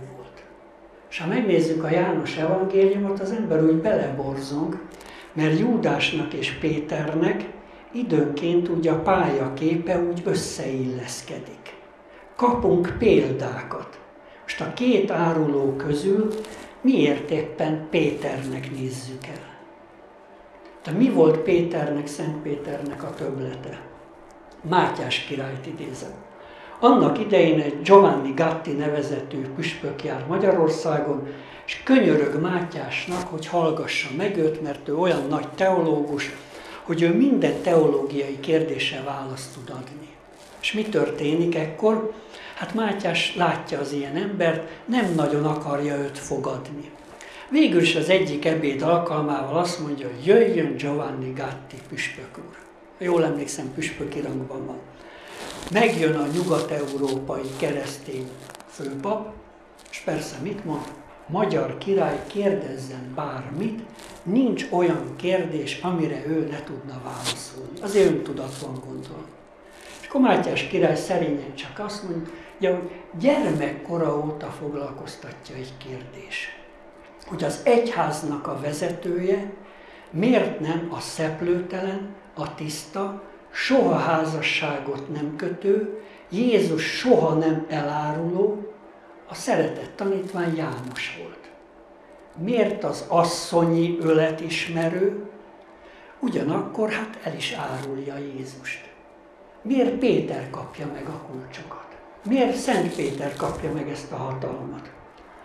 Persze, és ebből lehet érzékelni, hogy érzékeljük azt, hogy bizonyos dolgok nem jöhetnek onnan, ahol nem is tudnak ilyen kérdésekről. Tehát Mátyás király Magyarországán lehet választ adni ilyen erkölcsi kérdésekre. És hogy adja meg Mátyás a választ? Mert Giovanni Gatti azt mondja, hogy ez olyan nagy titok, hogy ezt csak az ég angyalai ismerhetik. Mátyás kicsit kihúzza magát, gondolom én, vagy kicsit mosolyog magában, teljesen mindegy, hogy mit csinál és hogy csinálja, lényeg azt is, és mi is tudjuk a választ. Tehát ha az ég angyalai tudják, akkor bizony mi is tudjuk magyar királyként. Nagyon egyszerű a válasz. Ha az egyházat János vezette volna, mivel János erényes volt, bűntelen, szeplőtelen, miből indult volna ki kétes ügyek esetében? Saját magából. Tehát ez mit jelent? Védkeztél? Akkor lehet menni a pokolba. Viszont Péter, aki tudja, hogy mit jelent a bűnbocsánat. Tehát milyennek kell lenni az egyháznak? Megbocsájtó, bűnbocsánatot adó egyháznak kell lenni. Tehát nem a törvény korában élünk, hanem a kegyelem korában. És Péter megbánta, tehát elkövette és megbánta. Már az evangélium jelzi, mert előtte Péter, emlékezzünk vissza, kardoskodott, hogy Uram, ki árulna el téged, én leszek az első, aki soha nem árul el téged. És képzeljük el azt a mélylátó, hogy úgy mondjam, képességet, ami ekkor milyen fájdalommal járhat. Mert még a szövegekből lehet érezni Jézus fájdalmát. Ugyan Péter, hagyd el, mire megszólal a kakas, te már háromszor elárultál engem. Azért gondoljuk végig ezt megélni hogy nem elég, hogy az árul el, hanem még az is, aki hát tulajdonképpen a legjobbak közül való. És amikor viszik Pilátustól Kajafásig, emlékezzünk vissza, Péter, van egy olyan mondat, amikor ott egy szolgálólány mondja neki, a tűznél ülnek, hogy hát a beszédedről lehet tudni, hogy te galileai vagy. A beszéded elárul téged. Ez egy külön kérdés. Tehát ez mit jelent? Ma úgy mondanánk, tájszólással beszéltek. Tehát nem a hivatalos nyelvet beszélték a tanítványok, legalábbis az egyik részük. És tényleg a dramaturgia az döbbenetes. Van egy olyan, hogy így a nyiladékon, mert nyitva van az ajtó, ég a tűz kint, és megszólal a kakas. És Péter és Jézus tekintete találkozik. És Péter itt elsírja magát, és elszalad. Tehát Júdás miben nem hitt? A bűnbocsánatban és a kegyelemben. Péter miben hitt? Péternek tényleg volt hite. Ez vitathatatlan tétel. Csak miért hozom ezt ennyire drámaian elő? Azért, mert a mátyásság révén itt lehet érzékelni, hogy ahol Júdás kiesik, Mátyás abban a pillanatban a helyére lép. Tehát ez mit jelent? Óriási baj történt, probléma van. Az egész üdvtörténeti menetrendben gyakorlatilag törés történt. Újra a teljességhez kell visszajönni. Na most ez mit jelent Mátyás király esetében? Nem fogjuk elinni hihetetlenül egyszerű. 1440-ben ellopják a magyar szent koronát. És ez mit jelent? Vagy 1440-ben született Mátyás, de nem akkor született, tényleg 43-ban született, mert 58-ban 15 éves volt. Tehát nem töltötte be még a 16. életévét, amikor őt királyá választották. És itt jön egy nagyon érdekes ügy, hogy mi a magyar Szent Koronához hogy viszonyulunk. Mert most ott van, le jelen pillanatban, ahol most a Magyar Szent Korona van az országgyűlés épületének kupolacsarnokában, ennél méltóbb helyet jelen pillanatban nem tudnánk neki találni. Tehát a Magyar Szent Koronának. Viszont tudni kell, hogy amikor 1440-ben Habsburg Albert özvegy Erzsébet királyné komornájával, Kottaner Jánosnéval a Vitességrádi Fellegvárból kilopatja a magyar szent koronát. Átkelnek a befagyott Dunán szánokkal a lopott koronával, de a folyó közepe táján beszakad a jég. Gondoljuk végig ezt a sorsképletet. Beszakad a jég. A szánról minden a Dunába zuhan, kivéve a magyar szent korona nagy nehezen átmennek a túlsó partra, eljutnak Komáromba, és útközben pedig Erzsébet királyné világra hozza utószülött, mert Habsburg Albert a férjeként már előtte meghalt. Tehát Habsburg Albert, ő volt az első Habsburg a magyar trónon, fia születését már nem tudta megélni. És tulajdonképpen itt történik egy izgalmas tétel, hogy az ellopott korona és a csecsemő a születés révén találkoznak. Majd májusban nem tudja senki, hogy a koronát rég pecsétes ajtók mögül kihozták, az ellopott koronával gyorsan septében Szécsi Dénes Esztergom érsekkel megkoronáztatják a csecsemőt május 15-e tájékán. Most ilyen meg gondolom tudjuk, ilyen királykoronázás nincs. Miért? Hát nem tudja a fején megtartani, nem tudja az esküt elmondani. Hát gyakorlatilag egy ilyen kis csecsemő beférne a korona alá teljes egész testével. Nyilván ez túlzás, de a magyar Szent Koronának a mérete jóval nagyobb, mint egy átlag egészséges, nagy koponyájú ember nek a, a fejmérete. Miért? Mert beavató korona. Tehát ez nem egy ember fejméretéhez készült valamikor Szent István korában, hanem ez minden királynak a koronája. Ezért kell a koronázási sapka, minden egyes király koronázás alkalmával viszont az adott király meg, fejméretének megfelelően készítik el azt a koronázási sapkát, és ha valaki most a, elkeresi a magyar szent koronát, akkor tudja, látja, ott van benne a bél és a kappa, vagyis a sapka. Tehát ennek is megvan a maga oka, de szaladok szépen eh, tovább, majd a Szent Koronával. Szépen elhagyják, és a csecsemővel elhagyják Magyarországot, és a csecsemőt is, és a Szent Koronát is, most egyszerűen fogalmazok, mert az idő már nagyon elment, Habsburg Figyes német-római császárnak átadják a magyar Szent Koronát.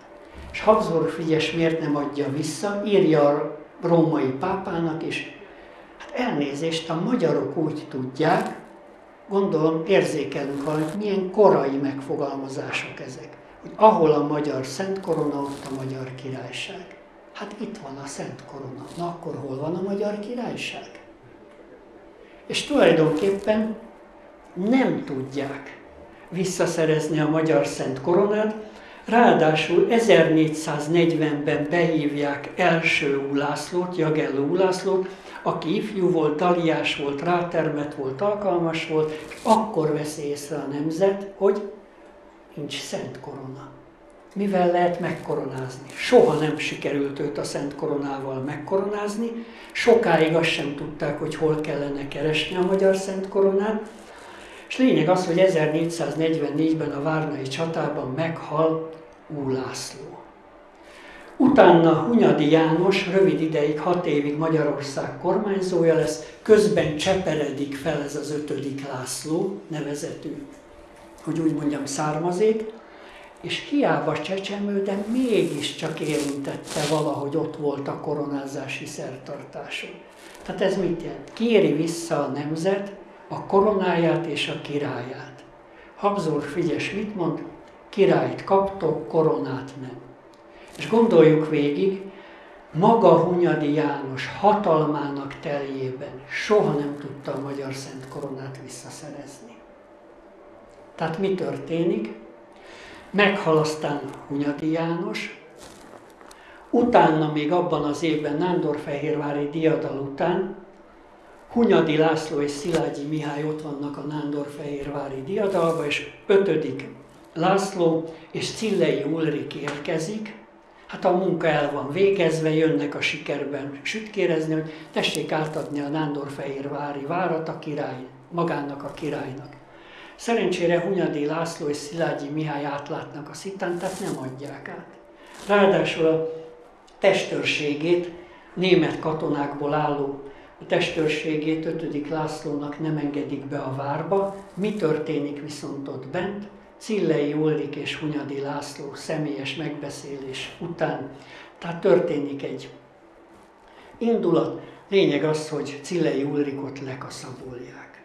Na most gondoljuk végez ez mekkora dráma ebben a pillanatban. De még kezelhető. És nem is a földrámai tételekhez tartozik.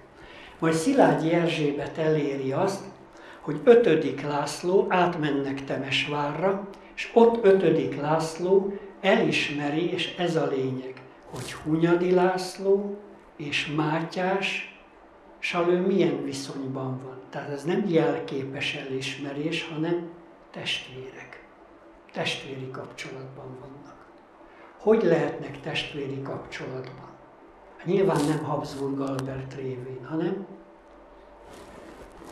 Zsigmond magyar király, és mondom a történelmet, de hát azt most már cáfolni fogják, mert ugye Zsigmond csontváza megvan, Korvin Jánosé megvan, Mátyás királyé megvan, és kiderült, hogy senki nem származik senkitől, mindenki mindenkitől.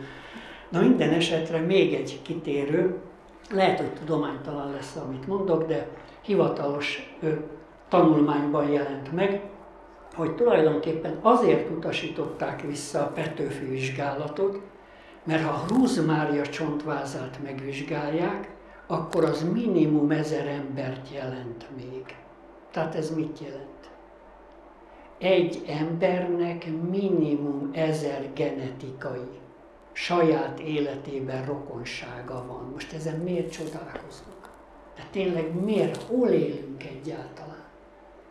Hát legalább József Attila Dunánál című versére gondoljunk. Úgy vagyok, hogy százezer éve nézem, amit meglátok hirtelen. Annak idején nem is régen Mongóliában egy régész ásató csapat elkiment, ezt a nagykövet asszony mesélte el ezt a történetet, most a nevét nem mondom, mert elég ennyi pontosítás is, hogy hunsírt tártak fel. És megtörtént a genetikai vizsgálat. És mi történt? Az ásató magyar régész és az az Ázsia közepén lévő csontváz, 2000 éves, hogy úgy mondjuk csontváz, kivel volt genetikai kapcsolatban? Egymással. Egymással. Látom néha a tekinteteket, hogy szörnyűködünk, még valamit mondok. Hány nagyanyja és nagyanyja van csak egy embernek? Aztán hány dédszülője van? Aztán hány szép nem tűnik fel? A legszorosabb leszármazási vonalon, ha 500 évet visszamentünk, néppé váltunk. Tehát mit jelent? Könnyen lehet, hogyha történetesen kerül elő egy hiteles Szent István, hogy úgy mondjam, ez csontlelet, megvizsgálnak ma valakit, és rokonok. Miért? Mert egy nép azért nép, mert rokonai egymásnak. Közelebbi, távolabbi rokonai. Hányszor van olyan, hogy vidékiről felkerült család, az ükonoka lemegy valahova vidékre, és kapásból felismeri. Hányszor van olyan, elkezdünk valakivel beszélgetni, és kiderül, hogy távolról rokonságban állunk. Te tényleg ismered őt? A nagybátyámnak a nem tudom. Hát az, az meg az én nem tudom ki. Na ezt jól megmagyaráztam, tehát ennél, ennél jobban már nem lehetett megmagyarázni. Lényeg az, hogy minden jel szerint, és itt jön a Mátyási sorsnak a lényege. Tehát nem a királyi ház főágáról származott Hunyadi János, hanem tudnivaló, hogy Zsigmond nagy természetű ember volt. Mit jelent ez férfi nyelven? Hát ezek már ilyen dolgok, de olyan jól esik újra mondani. Tehát ha látott egy libbenő szoknyát, akkor érdekes módon nem valami tudományos folyóirat cikke jutott eszébe, hanem a libbenő szoknya titka. És ez mit jelent? Rá kellett szokni, hogy elnézést, te magyar király, mármint szólni. Te egy magyar király mind, szóval önfegyelem is van a világon. Zsigmondról mondják el, hogy már 70 éves volt, és történetesen akkor is voltak utcák, utcákon járművek, hintók mentek, ha lóháton ment, akkor lóhátról, ha hintóról, hintóról. Lényeg az, hogyha meglátott az utca egyik oldalán egy nőt, aki át akart kelni az utca másik oldalán, leugrott a lóról, kiugrott a hintóból, és mint a világ történelem utolsó lovagja átsegítette. Most nyilván, ha valaki öreg korában ilyen, hát fiatal korában meg olyan. Tehát nehéz tűrtöztetni magát. Éppen ezért kiházasították. Miután Nagy Lajos lánya, Magyarország királynője, akinek ő a férje volt, meghalt, még az azt megelőző évszázad végén, és Zsigmond, mint özvegy lépett a trónra, tehát szabadságjogait élvezte. Csak meg volt a határ. 1400-as évek elején a nemzet megunta, sok mást is megunt benne, de lényeg az, hogy a Siklósi várba zárták be, a garaiak, hogy úgy mondjam, eh, voltak az egyik összeesküvők. És végül is Zsigmond belátja, Kocsis István ezt nagyon szépen szokta érzékeltetni, hogy amikor egy király úgymond megtér a Szent Korona irányába, és belátja azt, hogy hogy kell viselkedni magyar királynak. Igen, hanem Zsigmondnak hívják. Tehát Zsigmond még azért belátta, de úgy tartalékolt magának néhány évet. Tehát ez mit jelent? Ez azt jelenti, hogy elfogadta, hogy meg kell házasodnia.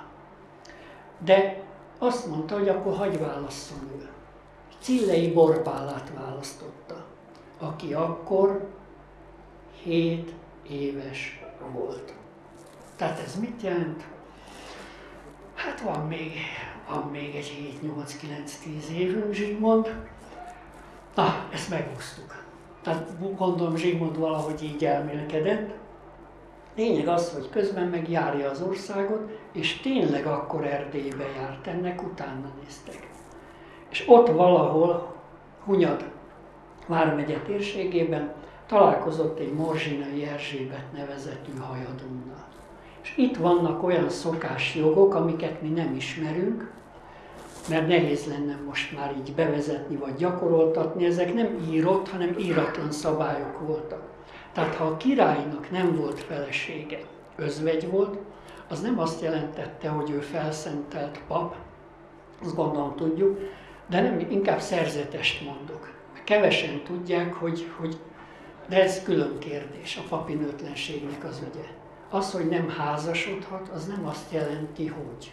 Tudom, hogy nehéz ezt a békát lenyelni, de van ilyen a világ történelemben, és ez nagyon elfajzásnak tud indulni, de ez nem mindig elfajzott, hogy úgy mondjam, társadalmi jelenségeket jelentett.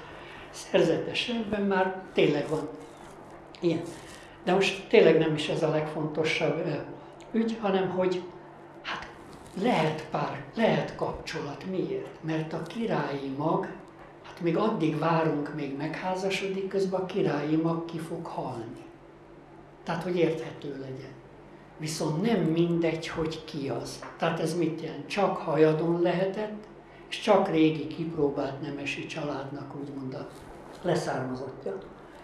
És hát megtört, Zsigmond esetében a szerelem az nem volt olyan nehéz dolog szerintem, azt gondolom nem kell magyarázni, szerelembe esett, már menne tovább, és ott viszont megfogták Zsigmondot. Miért? Mert ugyan a király elmegy, de a hajadon már nem hajadon. És ma is azért úgy néznek egy egyedülálló nőre, aki így elkezd gömbölyödni, azért egy mai világban is még úgy, úgy nézik, hogy, hogy vajon hogy, ki, mi lehet a feladó, vagy a üzenetközvetítő, vagy ez hogy van.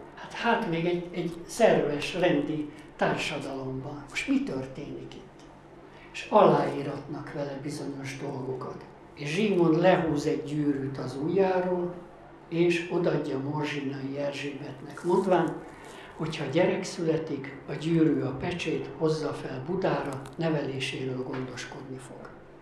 Tehát teljesen mindegy, hogy mit gondolunk ilyen-olyan tudományosság nevében, egyet biztosan lehet tudni, hogy soha olyan nem volt a világ történelemben, hogy valakit egy király csak úgy már gyerekkorától kezdve maga mellé vesz, visz külföldre, és közben a legnagyobb, szinte vármegyényi területeket juttat neki. Ezt egyszer mindenkor el kell felejteni. Mindenki tudja, hogy Hunyadi János Zsigmond mellett most egyszerűen fogalmazó szocializálódott.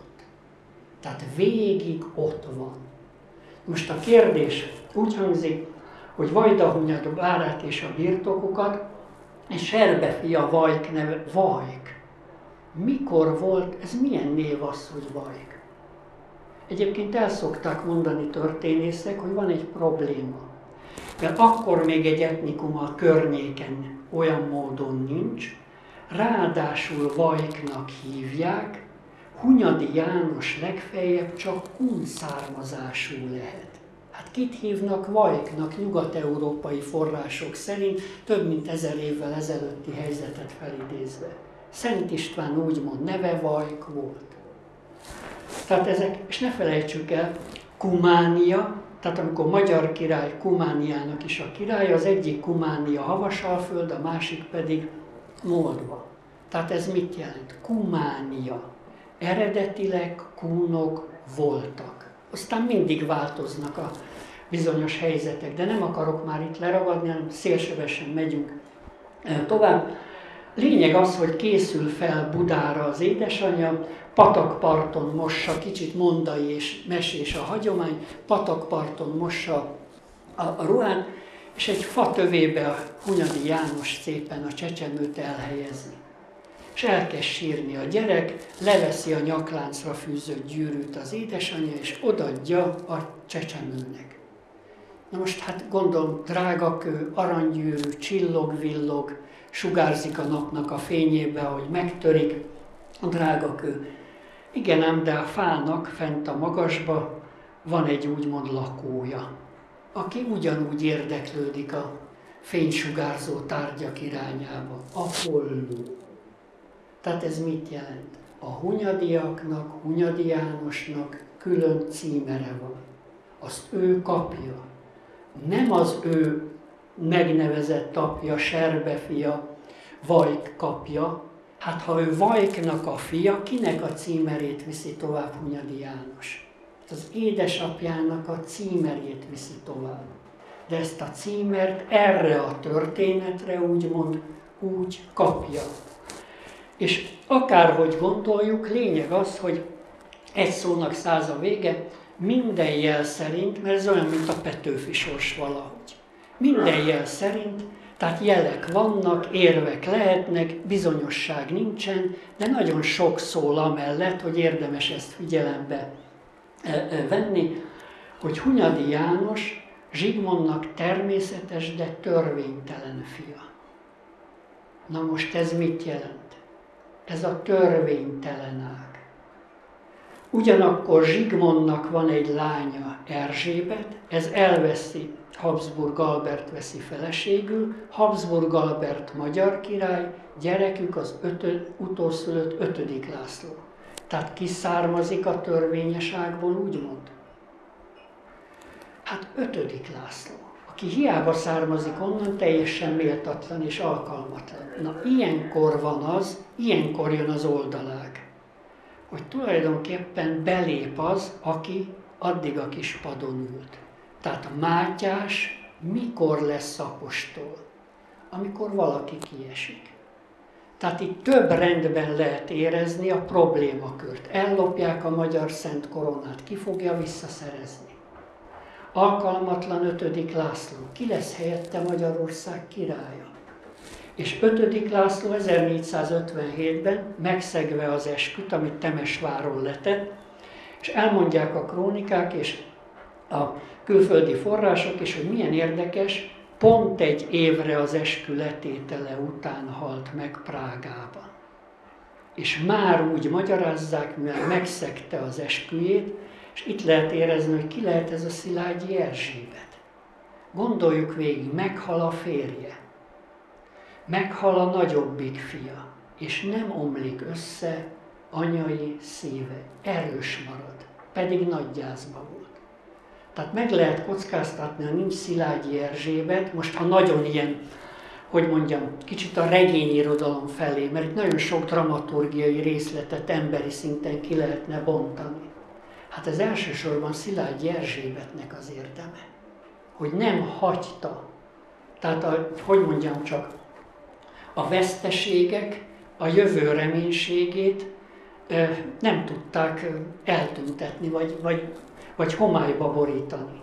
És megvolt az az ereje, hogyha már az, a legkisebb fiú él, akkor nem azokat síratom, akik már nincsenek, de nagyon fájlalom, hanem ő érte kell mindent megtenni.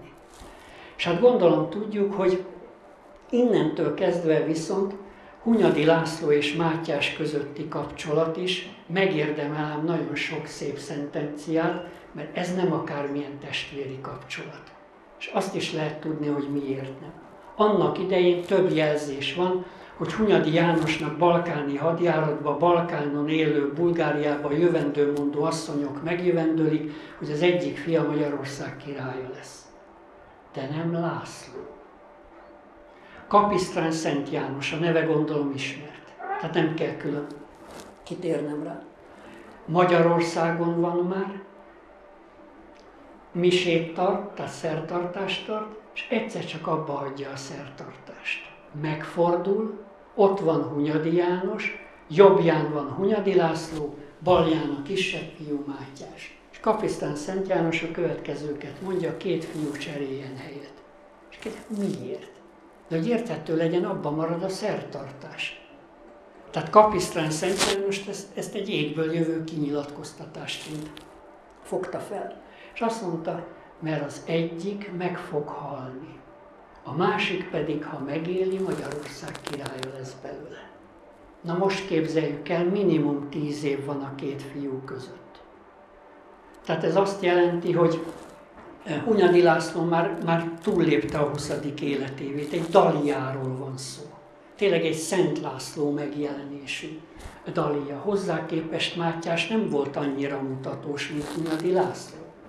Tehát az egész nemzet hogy nézett Hunyadi János fiára? Mint a nagy reménységre.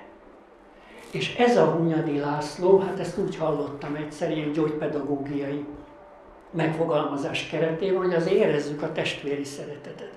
Hogy időnként nem kevert le Mátyásnak László egy nagy pofont, úgy, úgy titokba játszadozás közben, hogy a fene ette meg, te leszel a király. Hanem amikor eljött az ideje, akkor Mátyás elé lépett. Miért? Eredetileg az is benne volt a forgatókönyvben, hogy a két fiút egyszerre fogják lefejezni. De Hunyadi László úgy alakított mindent, hogy csak őt fejezzék le. És háromszor sújt le a bárd, és gondolom tudjuk, mi történik. Hunyadi László feláll, ezzel bizonyítja ártatlanságát, és még valami történik. Régen, hogyha nem sikerült ilyen nyilvános kivégzésekként, mert a hóhérnak, vagyis a tényleg a bakónak azért volt, volt egy megkötöttsége, ezt néha még filmekben lehet látni, mert Istenre is bízni kell valamit, bármennyire hihetetlen. Tehát el van takarva, ő csak beméri, ezért lehet látni, hogy úgy szépen úgy méregetik, úgy, úgy érzéssel kitapogatja, felemelés, lesújt és háromszor sújtott le, és egyszer se találta el. És ez mit jelent? Isten ítélet a vádlott ártatlan. Hunyadi László feláll, szép, tiszta, érthető módon elmondja, hogy a törvények értelmében ő ártatlan. Tehát ez mit jelent? Azonnal szabadon kellene engedni. De hát nem tudni, hogy hogy van, A szöveg úgy mondja, de hogy előre lép, elbotlik valamibe, rajta lévő kötelékek, ruhadarabok megbotlik, és most figyeljünk, és az a hóhér, aki normális helyzet, normál, tehát ilyen helyzetben, rögzített helyzetben nem találta el háromszor, mi történik? Negyedjére eltalálja. Tehát végeredményben mi történt itt? Hunyadi László életét adta Mátyásért. Tehát ez aztán tényleg az a testvéri szeretet, hát a testvérért az ember nyilván sok mindent megtesz, de hogy érezzük ennek a lélektani hátterét. Majd ötödik László Prágába, először Bécsbe, Prágába viszi a fogoly Mátyást, magával viszi, és pont azon a napon, ami egy évre ezelőtt történt, azon a napon, november 22-e tájékán egyszer csak váratlanul meghal. Tehát két László is meghal azért, hogy Mátyás király legyen. Az egyik életét áldozta érte, a másik pedig a büntetését kapta meg a sorstól. Ilyen ember nem lehet Magyarország királya. És akkor nagyon gyorsan, mert az idő az tényleg nagyon elment, tehát ez a Mátyás apostol történetnek a, hogy mondjam, a sors történeti útja, és ami nem sikerült Hunyadi Jánosnak. Hunyadi János a halálos ágyán megeskedte a fiait, hogy ami neki nem sikerült, tehát 1456. augusztus elejének napjaiban megeskedte a fiait, hogy ami neki nem sikerült, azt nekik kell végrehajtani, tehát a magyar szent koronát vissza kell szerezni. Most gondoljuk végig, Mátyás király tudta visszaszerezni a magyar szent koronát. Tehát ez miért rendkívül lényeges dolog? Mert a kétfajta pályakép, ami látszólag távol van egymástól, de a magyar király apostol király. Tehát Mátyás apostol, Mátyás király, de a király egyesíti az apostoli ranggal. Az apostolnak nincs viszont királyi rangja. És azt is tudni kell, hogy az apostolok közül a fő apostol a király, az maga Jézus Krisztus volt. Tehát a magyar király, hogyha a magyar szent koronával megkoronázzák, akkor tulajdonképpen Isten fiúi pozícióból gyakorolja a e, hatalmat. De visszatérve a következő tételre, tehát elindul a halak világ hónap, ez e, Jézus születésével. Egy világ hónap 2160 évig tart. Egy világ hónapon belül van 3-720 éves dekanátus. Most mindezt miért mondom el? Azért, mert most ez egy kicsit távolinak tűnik, de az a kor, hát ne felejtsük el, Mátyás gyakorlott asztrológus volt, ami nem azt jelentette, amit ma jelent. Vitéz János, Esztergom érsek, annak előtte Váradi Püspök gyakorlott asztrológus volt. Tehát nincs olyan forrás, ami nem mondaná el, hogy Mátyás minden hadjárat előtt, minden ö, eltervezett tette előtt megfaggatta a csillagokat. A megfelelő, mind fent, úgy lent. Mai világnak az a baja, hogy nem tudjuk, hogy mikor, minek jött el az ideje. Gyerek születni akar, beindítják a születést. Szülést. Az öreg már meg akar halni, mesterségesen életbe tartják.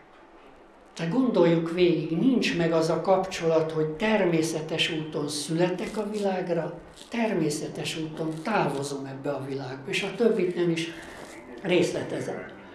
Tehát nagyon rövidre zárva és visszatérve a kérdéskörhöz, 720 évenként bizonyos tulajdonságok színezik át a halaknak az eredendő tulajdonságai, hátulról megyünk, tehát ez azt jelenti, hogy a skorpió vizes jegy még az év körben és a rák. Tehát ez mit jelent? Első 720 évet, mivel hátulról megyünk be, a skorpió tulajdonságok színezik át. 720-tól 1440-ig tart a középső dekanátus. Na itt jön az izgalmas tétel. Mikor lopják el a magyar szent koronát?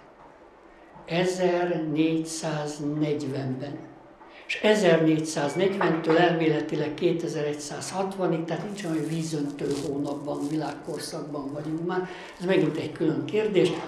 Lényeg az, hogy 1440-től 2160-ig jön az utolsó 720 év, ez a szűzhalak tengelyen belül a tiszta szűzhalak tulajdonságokat képviseli. Tehát korszakváltás történik, valami belül. És érezzük most a korszakváltást. Elmúlik egy világkorszak. Ez akkor is szörnyű tétel, hogyha az emberisége 2160 évig úgy élt volna a földkerekségen, mint a kis angyal. Mi? Mert elmúlik. Tehát ez olyan, hogy elmúlt a nyár, jön az ősz, jön a tél. Tehát tetszik, nem tetszik, vége egy korszaknak. És a legtöbb sötét erő mikor tud zavarosban halászni, amikor a 8 milliárd ember nem fogalmazzuk meg, vége egy korszaknak. De nincs jövőképe. Süllyed el. Hát Jézus vizen jár. Miért jár vizen? Mert nem süllyed el. Tehát valahogy meg kell tanulni ezt a korszak fölött való járás módot. És rá három évre ellopják a koronát, három évre rá megszületik a megoldás. Megszületik az az ember, aki vissza fogja szerezni a magyar szent koronát. De nem 80 éves korában, hanem gondoljuk végig, 15 éves korában Magyarország királyává választják és nem dilemmáznak, hogy még kisgyerek Ransburg Jenővel, Vekerdi Tamással kéne kezeltetni, pattanásai tápolgatni, önbizalmát növeszteni. Tehát szokjunk hozzá, hogy késleltetik az emberi fejlődést. Tehát addig-addig iskoláztatják, még egy gyerek nem fog soha az életbe felnőtté válni. Miért? Mert igazi gyerek soha nem lehet. Igazi kamasz soha nem lehet. Hanem állandóan valamilyen, hogy úgy mondjam, présbe van beleállítva. Ezért van az, hogy, hát hogy mondani szokták, de inkább nem mondom, öreg lesz, akkor már szenilis lesz és idióta lesz. És infantilis lesz. Tehát nem gyermekké válik, mert olyanok mennek be a mennyek országában, sajnos tudomásul kell venni, hogy infantilisek vagyunk. Megyünk bulizni 80 éves fejjel, 60 éves fejjel, bemegyünk, igen, rázzuk a sérót. Tehát egyszerűen nincsenek meg a korszakokra jellemző magatartás mintázatok. Minden egyformává vált. 12 éves korában is ugyanúgy csápol az első sorban, mint 72 éves korában. De mit fog ez továbbadni? Ez nem azt jelenti, hogy ne menjen csápolni, csak az érezni kell, hogy hol van a határ. Egy felnőttől elvárják, hogy a mögötte lévő nemzedékeknek utat tud mutatni. De nem azon, hogyha én mondjuk a nem tudom, hard rock zenekar koncertjére álltam, akkor a fiam már techno, nem tudom, milyen idióta koncertre fog járni. Mert ő már haladóbb szellemű. Ez iszonyatos ez a kérdezet. Na minden esetre tehát tudni való, hogy Mátyás mindannyian a halakvilág hónapban születünk, Mátyásnál van egy izgalmas tétel. Halakvilág hónap halak dekanátusában születik. És van még egy izgalmas tétel, kis éven belül pedig a halak havában. Ez mit jelent? Hát ez az egész halakvilág hónap kinek a születésével indult el? Jézus születésével. Tehát lehet érezni, ha valaki magyar király akar lenni, alább nem adhatja a dolgot. Egy mintázatot kell majd követnie. És akkor az utolsó tétel, esztendő körén belül az igazság napja mutatja meg napról napra, hogy mi van aznap. Igen ám, de gondolom észrevettük, hogy vagy 365, vagy 366 nap van egy évben. Tehát négy évenként szökőév van. Miért van szökőév? Mert nem teljes számot fogunk kapni, hanem 365 és egy negyed nap, az egy évnyi egység. De négy évenként ezek a negyedek egy teljes napot fognak kikerekíteni. Na most mit gondolunk, hogy a szökőévet hova fogják beiktatni? Melyik napra teszik azt, hogy ez a szökőévnek a mozgatója? Hát ha így mondom el, pedig milyen egyszerű, van a hivatalos Julianus féle naptár, nyugodtan január 1 -e után lehetne, vagy január végére legyen akkor 32-e, vagy bármi. De mi történik? Január, február. Ráadásul nem is az eleje, hanem a vége. És 24-éről olyankor, amikor szökőév van, Mátyás napja átkerül 25-ére. Hogy hívják ezt? Mátyás ugrása szökőév és Mátyás ugrása. Ismerőse az a tétel, egyet ugrott, kettőt szökött. Tehát szökő évben. Tehát ki az, aki helyre teszi az időjárásnak a megfelelő menetét? A napnak az útján. Hát nem fogjuk elhinni. Mátyás az igazságos. Tehát Mátyáson múlik az, hogy tudunk-e számolni idővel, vagy nem tudunk. Na most ehhez képest nézzük meg az időjárásra vonatkozó magyar nyelv.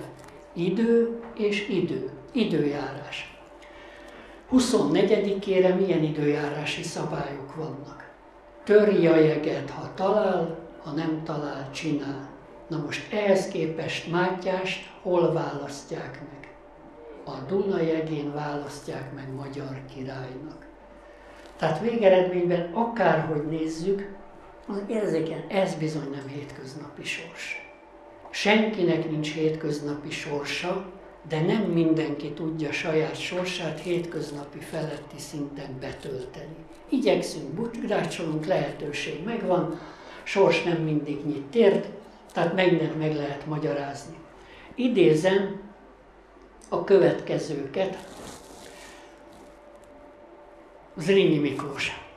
Mi sem síratnánk annyi veszedelmünket, épp volna országunk, s Buda közepe volna, ha nem egész kereszténységnek, legalább bizony Magyarországnak. Tehát hol volt a kereszténységnek a központja? Budavára volt a keresztény világnak a központja. Hát Mátyás királyról van egyébként szó, de nem mindenik szekulumban születik főnix, és sok száz esztendeig kell fáradoznia a természetnek, meddig formálhat oly embert, aki a világ és országok megbotránkozásának gyógyító legyen, és a maga nemzetének megvilágosítója. Na most Hunyadi János 1450-ben, ez 1656 körül járunk, amikor Mátyás királyról való elmélkedéseket Zrínyi Miklós írja, tehát tulajdonképpen 200 évvel korábban, vagy 100 évvel korábban, nem, 200 évvel, igen, hogyan fogalmaz maga Hunyadi János. Tehát mi a magyar király feladata? Fényt hozni a világba és gyógyítani az emberiség bajait. Na ezért számolták fel a monarchia ideje alatt a magyar királyságot, és többek között ezért történtek ezek a események. Tehát szívvel, lélekkel azon voltunk, hogy félretévő a különböző pártérdekeket, királyt kívánjunk, aki fényt áraszt a sötétségbe és orvosolja bajainkat. Tehát mi a magyar királynak a feladata? És nehogy azt higgyük, hogy ezt az oklevelet, mert ez egy oklevélben van, Zrínyi Miklós olvasgatta és tanulmányozta, hanem minden magyar tudta, hogy mit jelent a magyar királyság a Földön. Tehát fényt hozni a világba, és orvosolni a bajokat. Tehát erre szokta mondani Pap Gábor, magyar királynak nem az a feladata, hogy hódítson, hanem az, hogy gyógyítson. Ráadásul az ifjú Mátyás király állandóan minden történelmi konfliktusra a gyógyítás szót használja. Igyekeztünk gyógyítani, igyekeztünk orvosolni. És a magyar Szent Koronán gondolom tudjuk, teljesen példátlan, 19 figurális zománckép van a magyar Szent Koronán, és az abroncson ebből kettő gyógyító szenteket ábrázol. Egyik Szent Kozma, a másik Szent Damján. Kozma neve nagyon egyszerű, Kozmász, ez mit jelent? Maga a kozmosz. Tehát ahhoz, hogy gyógyítani tudjon valaki, a mikrokozmosz és a makrokozmosz együtt lényegűségéből kell valahogy kiindulnia. És akkor a következő szlovén néphagyomány, és akkor tényleg be fogom fejezni, Pável Ágostól összegyűjtött írásaiból idézek, ő Kodály Zoltánnak is munkatársa volt egy időben. Mátyásban, és mi a lényeg? Amikor elmondja egy történész, rádióműsorba, tévéadásban, hogy Mátyás nem is volt jó király, nem is volt nagy király, nem is volt igazságos, akkor tényleg arra számítanak, de lehet, hogy nem az, aki mondja, mert ő is csak valahogy így értesült. Hogy vegyük észre, hogy Mátyás, mint megváltó királyt, a délszláv népek mind a mai napig visszavárják. De Lengyelországban is van hagyománya, Rutén, Ukrajnában is van hagyománya. Németalföldön is még gyűjtöttek 19. században olyan mondást, hogy meghalt Mátyás, oda az igazság. Na most, Tehát így szól a szöveg, Mátyásban maga a régóta várt megváltóját, az igazság messiását, tehát szlovén néphagyomány, várja. Szomorú sorsával közösséget vállaló küldetéses nemzeti hősét tiszteli, aki meg sem halt, hanem türelmesen várja az idők teljének megérkezését. Tehát mi a döbbenetes dolog? Ha mi változtatni akarunk a világon, akkor sajnos van egy jelzés. Nem a jövőből jön majd valaki, hanem valaki majd, aki akkor volt, majd azt tér vissza egy várva várt jövő beteljesülése alkalmával. Tehát nem a nagy ismeretlent várjuk, hanem őt várjuk, aki egyszer már bizonyított és itt volt. Na most van olyan, hogy szlovén néphagyomány, három bárka úszik a tengeren, egyiken Jézus úr utazik, a másikon utazik az Úristen, harmadikon a kilencedik király, a kilencedik király szomorú. Pável Ágoston kimutatta, hogy a kilencedik király az maga Mátyás király. És hogy szól a szlovén néphagyomány? Mikor jön el az emberiség új aranykora? Mikor lesz vége ennek a áldatlan állapotnak? Amikor karácsony éjszakáján a Szent hegyen, ez a budai várhegy, úgymond, a hársfa kivirágzik, illatával betölt mindent, a hársfára rászáll az aranymadár, elkezd énekelni, és a budai várhegy gyomra megnyílik, és Mátyás király felébred álmából, a fekete sereg is felébred, és bejönnek a világba, és előzik a sötétséget és a gonoszságot, és bekövetkezik az emberiség új aranykora. Hány magyar ember ismeri ezt a hagyományt? De arról tud, hogy három testőr, én most már nem nézem ezeket, de gyerekkorom óta három testtörés az ufók, három testtörés a Pepsi Cola. Nem veszük észre, hogy nem tudnak mit mondani. Saját hagyományainkat nem ismerjük, Hát az egri csillagokra gondoljunk. Még a 60-as években még történelmi filmeket készítettek. Ma 12 évig lehet egyfolytában nemzeti kormányzat, és úgy kell kikönyörögni valamit, hogy legyen már valami. Lengyelországban ezer évre minden napra történelmi filmeket csináltak. Világos? Szlovákiában gyakorlatilag, most mindegy, hogy ki az a történelem, Mindenről van történelmi filmjük. Nekünk van üvegtigris 1, üvegtigris 2, üvegtigris 132. Érdekes módon filmkészítésre mindig van pénz, egy irányban nincs pénz. Olyankor mindig, hát kicsit azért úgy kell viselkedni. És az ember már inkább azt mondja, tudjátok mit, ne csináljatok. Nem kell befolyásolni a társadalmakat inkább maradjunk film nélkül. Eljutottunk ide, pedig milyen gyönyörű dolgokat lehetne. És nem regényekből, hát Mátyásnak maga az élet története, felmondom, az már egy forgatókönyv. Nem kell kitalálni semmit, nem írói vénára van szükség, hanem igazságra és dramaturgiai érzékre. Na most, még egy apróság, Ficino már kiváló humanista tudós írja a következőket. Annak idején Leonardo da Vinci nyilatkozott, aki művészeti kérdésekben tisztán akar látni, egyetlen egy király van a föld kerekségen, aki művészeti kérdésekben etalon. Ki ez a király? Nem a francia király, nem a német-római császár, Mátyás a magyarok királya hány művészet érdeklődő, pártoló ember fogalma nincs mondjuk a reneszánszkori művészetről. Hogy kit tekintettek példaértékűnek. Ki volt ez a Mátyás király? És akkor nyilatkoznak itt egyesek, hogy nem is volt ilyen, nem is volt olyan. Talán még beszélni se tudott. Mert ilyenkor mindig jön valami következő. Mint a messiást úgy hívják-e bölcsek örökös hangos kiáltással Mátyást, mint megváltó Mátyást, hogy őket a limbuszból, vagy inkább a pokolba fényre és életre hozza. Na most kortársak hogy tekintettek Mátyás királyra? Úgy, hogy a szlovén néphagyomány a 20. század második felében. az igazság megtestesítője, hát tudjuk, hogy ez a legmagasabb szinten nyilván kicsoda, de hát előbb-utóbb el fog jönni. És akkor az utolsó szó teljes jogán, hogyha megtalálom, de lényeg az, hogy szerintem, ha megtalálom, inkább nem találom, meg nem keresem. Lényeg az, hogy Bonféni megírja a magyar krónikáját, és elmondja azt, hogy hát Mátyás hogy halt meg. És gondolom tudjuk, 1464-ben az írtózatos összegekért, ez az összeg aranyat jelent. És ez nem 100 ezer vagy, vagy 60 ezer aranyforintot jelent, hanem 60 vagy 80 ezer olyan mennyiségű aranyat, aminek nem tudjuk a súlycsoportját. Egy biztos, a Fugger bankház, ismerős ez a behatárolás? Fugger bankház szakértői úgy adtak tanácsot Habsburg Frigyesnek, hogy a korona visszaváltásáért, amit a magyarok nem értettek, mi az, hogy vissza kell váltanunk. Hát tőlünk lopták el, de szokjunk hozzá Európai Unió. Mi az, hogy könyörögni kell azért a kis bejövő pénzért, ami innen ment ki. Tehát szokjunk hozzá, hogy mit jelent a magyar sors, és ettől nem megijedni kell, hanem tényleg már mosolyogni kell rajta.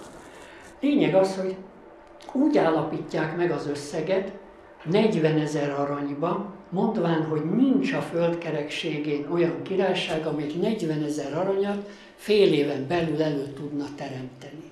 És nekünk ez volt a nagy szerencsénk, a Habsburgoknak a, az ismert ilyen kötődése az anyagi javak irányába, ugyanis ö, meghallgatta a tanácsot Habsburg Frigyes, de azt mondta, hogy akkor legyen 60 ezer arany. Miután Mátyás király Magyarországa rábólintotta 40 ezerre. Tehát figyeljünk oda, nincs olyan ország, ami ezt elő tudná állítani. Mátyás azt mondja, rendben van. Itt jön a ihletettség, mert Habsburg Frigyes ihletettségi rohamot kapott, és ha van 40 ezer, akkor lesz 60 ezer is. És erre is rábólint Magyarország, és a duplájára 80 ezerre. És minden kortás forrás mondja, szerencsére hazai történészek is hangsúlyozzák, soha a világ történelemben nem fordult elő az, hogy egy ország a saját tulajdonát képező, nyilván történész tárgynak fogja nevezni a Szent Koronát, hogy egy tárgyért ekkora összeget fizettek volna. Tehát ebből már ilyen logika alapján kérdezni kellene, hogy mi a, mit tud a magyar Szent Korona, mi a jelentősége neki. Hogy lehetséges, hogy ekkora ragaszkodás? És utána jön a titkos záradék, és Bécsúj helyében Vitéz János, akkor még Váradi püspök tárgyal Frigyessel, és Frigyes még egy pontot be tud vinni. Mondván, ha Mátyásnak nem lesz törvényes fiú utódja, akkor a Szent Korona Habsburgra fog háramolni. És tulajdonképpen ez a legizgalmasabb tétel. Miért? Mert az egész nemzet még ebbe is belemegy. Tehát ez mit jelent? Inkább a magyar Szent Korona akár Habsburggal is, mint bárkivel mi itt együtt Szent Korona nélkül. Tehát valami olyan erő van a magyar Szent Koronában, egyébként akik őrzik a magyar Szent Koronát és közvetlen közelében vannak, mindig elmondják, hogy nem tárgyat őriznek. Ezt azért nem árt tudni. Ott valami más erő mozog. És lényeg a következő, kitűzik a koronázásnak a dátumát 1464 virág vasárnapjára, de a húsvét az mozgó ünnep, a tavaszi napi egyenlőséget követő telihold utáni vasárnap a húsvét vasárnap, és gondoljuk végig március 21 tavaszi napi egyenlőség, ha ott van rögtön a teli hold, akkor már márciusban a húsvéti ünnepség végbe ment. És mi a szép, vagy a döbbenetes az egészben, hogy van egy tóligja, és viszont befelé haladva az évkörben pedig április 25-e lehet az a nap, amikor még, tehát a már lehet és a még lehet tehát a húsvét az mozgó ünnep. Még lehet húsvét vasárnap. Na most ezt nagyon jegyezzük meg, mert a Mátyási sorsnál ez fontos lesz. És akkor viták dúlnák, hogy nagy csütörtökön vagy nagy pénteken koronázták-e, teljesen mindegy. Miért mindegy? Mert csütörtökön Jézus nem fekszik le aludni. Világos? És a úgymond krisztológián belül a szenvedés történet, a nagypénteki, az nem péntek éjféllel kezdődik, hanem csütörtökkel. Tehát a szenvedések nagy része már csütörtökön megtörténik, és nem fekszik le aludni. Mondván, hogy kedves koronakutatók nem tudják, hogy adott esetben csütörtökön és nem pénteken koronázták Mátyás királyt. Egy biztos, akármilyen napon koronázzák, nagypénteki a sors. És honnan tudjuk? Úgy, hogy Mátyás nyugodtan rendelkezhetett volna úgy is, hogy húsvét vasárnapján lesz a koronázás, csak hogy a vasárnap feltámadási ünnep. Tehát ez mit jelent? Az utolsó teljes értékű magyar király koronázása az a szenvedés történet nagy napjaiban történik. Maradjunk a nagypénteki sorsvállalásnál. És ez, mivel akkor komolyan vették, hogy egy napnak az ünnepi tartalma mit jelent, azt gondolom nem kell magyarázni, hát mindenki tudta. Utolsó vacsora, távoli részekről visszatért a téli hideg, áradások, jegek voltak az országban, virágvasárnapra nem érkezett meg királyválasztók túlnyomó többsége, a nemesség többsége, megvárták őket, és képzeljük el, ha csütörtökön összegyűltek. Utolsó vacsora. Tehát ez mit jelent? Utoljára vagyunk egyet. És holnap már kereszthalál. De lesz feltámadás. Tehát ez a legfontosabb tétel. Nem oktalan, nem céltalan. Hát megkérdezem, hogy ma az embertelen háborúra úszító világban melyik ország, még most nagyon jót próbálok mondani, hogy még ebben az állapotban is egy magyarországi vagy magyar politikus mit fog mondani. Béke legyen. Világos? Tehát érezzük már meg hazánknak és a népnek a súlyát és jelentőségét, hogy mit jelent ez. És úgy félnek a magyar jelenléttől, mint tényleg az ördög a szentelt víztől. Hát amikor az miniszterelnök felvett egy ilyen futballmeccsen egy ilyen sálat. Hát a nato meg a, összehívtak mindenkit. Az ember ugye elkezd tűnni, gyerekek, mit féltek? Miért nem az atomreaktorok rakétával való lövéseitől, meg egymástól? Nem tűnik fel itt valami? De merjünk kicsik lenni, hát ha, hát ha jó lesz. Ha már minden kicsi lesz, akkor már semmi nagy nem lesz. Tehát lényeg az, hogy bizony számolni lehet. És az utolsó teljes értékű magyar király, akinek ráadásul a koronázási szertartáson minden szabályt betartottak. Tehát csak Esztergom érsek koronázhat, helyette csak a Kalocsa érsek lehet. Csak Fehérváron lehet koronázni, gyors kérdés. Ha visszafoglalták a török elől a várokat, városokat, akkor miért nem vitték vissza a mai Székesfehérvárra a királykoronázási szertartás? Mert nem volt Magyarországon ember, akinek ezt a szöveget be lehetett volna adni, hogy egy késő római kori fürdőépület lenne azonos a középkori Alba régiával. Ez nagyon a 20. századra van ám szükség. Meg nagyon sok csontra van szükség. Tehát egyszerűen dráma, és elképzelni azt, hogy Visegrádon őrizték a magyar szent koronát. Esztergomi érsek koronázott, onnan lementek Székesfehérvárra. Hol élünk? Tényleg hova, milyen macska vitte el itt az eszet? Vagy az észt, vagy a jó ég tudja. De már vissza kéne cincogni azt a macskát, hogy nem tudom, az inkább az egerekkel ne foglalkozzon. Tehát döbbenetes. Hát ha nem tudjuk, hogy hol van egy szakrális társadalom, szakrális hatalmi súlypontja, be lehet adni, hogy a móri húzatos árok egy mocsár kellős közepén, hangsúlyom, késő, római, kori alapfalakkal. Hogy építhette a Szent István? És akkor a csontvázon harmadik Bélának tulajdonított csontváz ujján, csak a legszebb nekem ez a kedves, gyűrű, ha nagyon megvizsgálnám, azt mondom 15. századból való gyűrű, de ennyire rossz indulatú nem leszek. Harmadik Béla 12. század.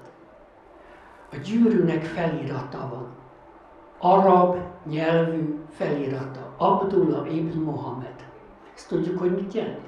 Kovács József, Nagy István, Pintér Zoltán. Ez egy név. Most a apostol magyar király, jön a történész, és mit mond? Ez valami kedves emlék lehetett Bélának. Nem cuki a történet? Egyszerűen vérfagyasztó. És ez már tényleg az a szint, amikor azért hozom ezeket elő, és ezeket nem vitatjuk ám meg, hanem ki kinek drukkol, melyik piros-fehér-zöld zászlónak drukkol a nemzeti érzelmeket tápláló közvélemény. Elnézést, az igazság nem drukkolás kérdése. Ha bebizonyosodik, hogy ott volt Székesfehérvár, ha bebizonyosodik, hogy ez a pupos, rokkant ember, Abdullah ibn felirat, Mohamed feliratú gyűrűvel volt harmadik Béla, kapitulálok. Na de van egy probléma. Harmadik Béla gyűrűje megmaradt. Királyi viaszpecséteken. A magyar királynak lovas pecsétes gyűrűje van. Ott van Esztergomban a kiállítás. Tehát ez egyszerűen döbbenetes. Na de ez a legkevesebb, mert most már tényleg szeretném befejezni. Sajnos a jövendőléseket sikerült akkor itt beteljesíteni, de megpróbálom rövidre zárni. Tehát nagy ünnepen lehet koronázni, Esztergomi érsek, a helyszín adott Fehérváron lehet koronázni, és csak nagy ünnepen. És az ember megdöbben, az utolsó magyar király, aki minden koronázási szabálynak megfelelt, ki volt? Mátyás az igazságos. Meghalt Mátyás oda az igazság. Elnézést, Pozsony nem szakrális központ. A mai budai vár eleve Pestnek hívták soha itt Buda nem volt. De semmi baj, semmi baj, legyünk okosak, legyünk nagyszerűek.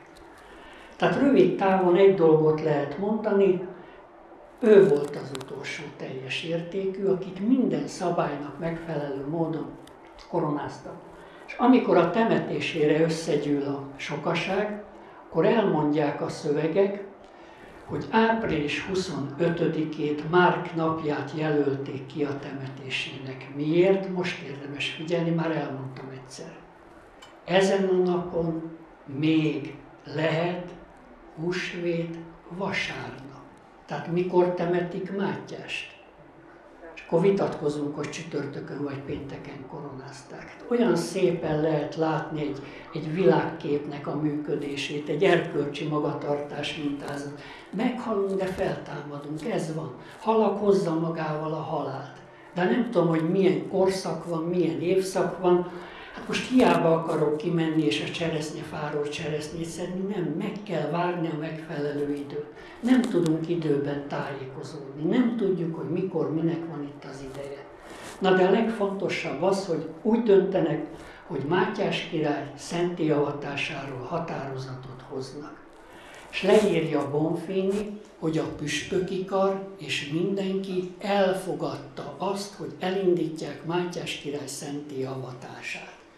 Hát ehhez képest Habsburg 5. Károlyt avatták boldoggá.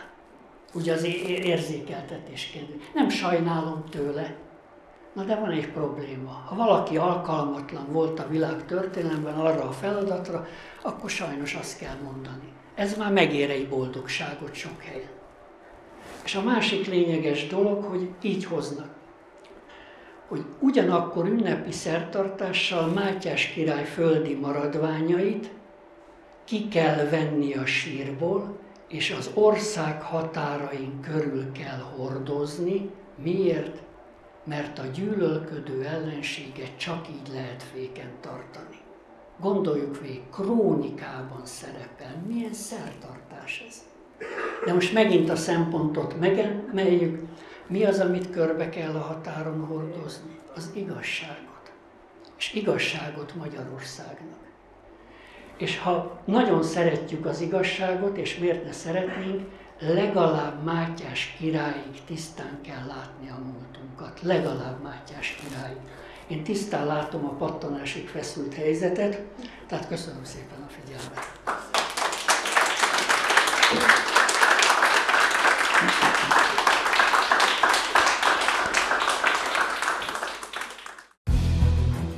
Polgári mulató. Érték, a felszín alatt.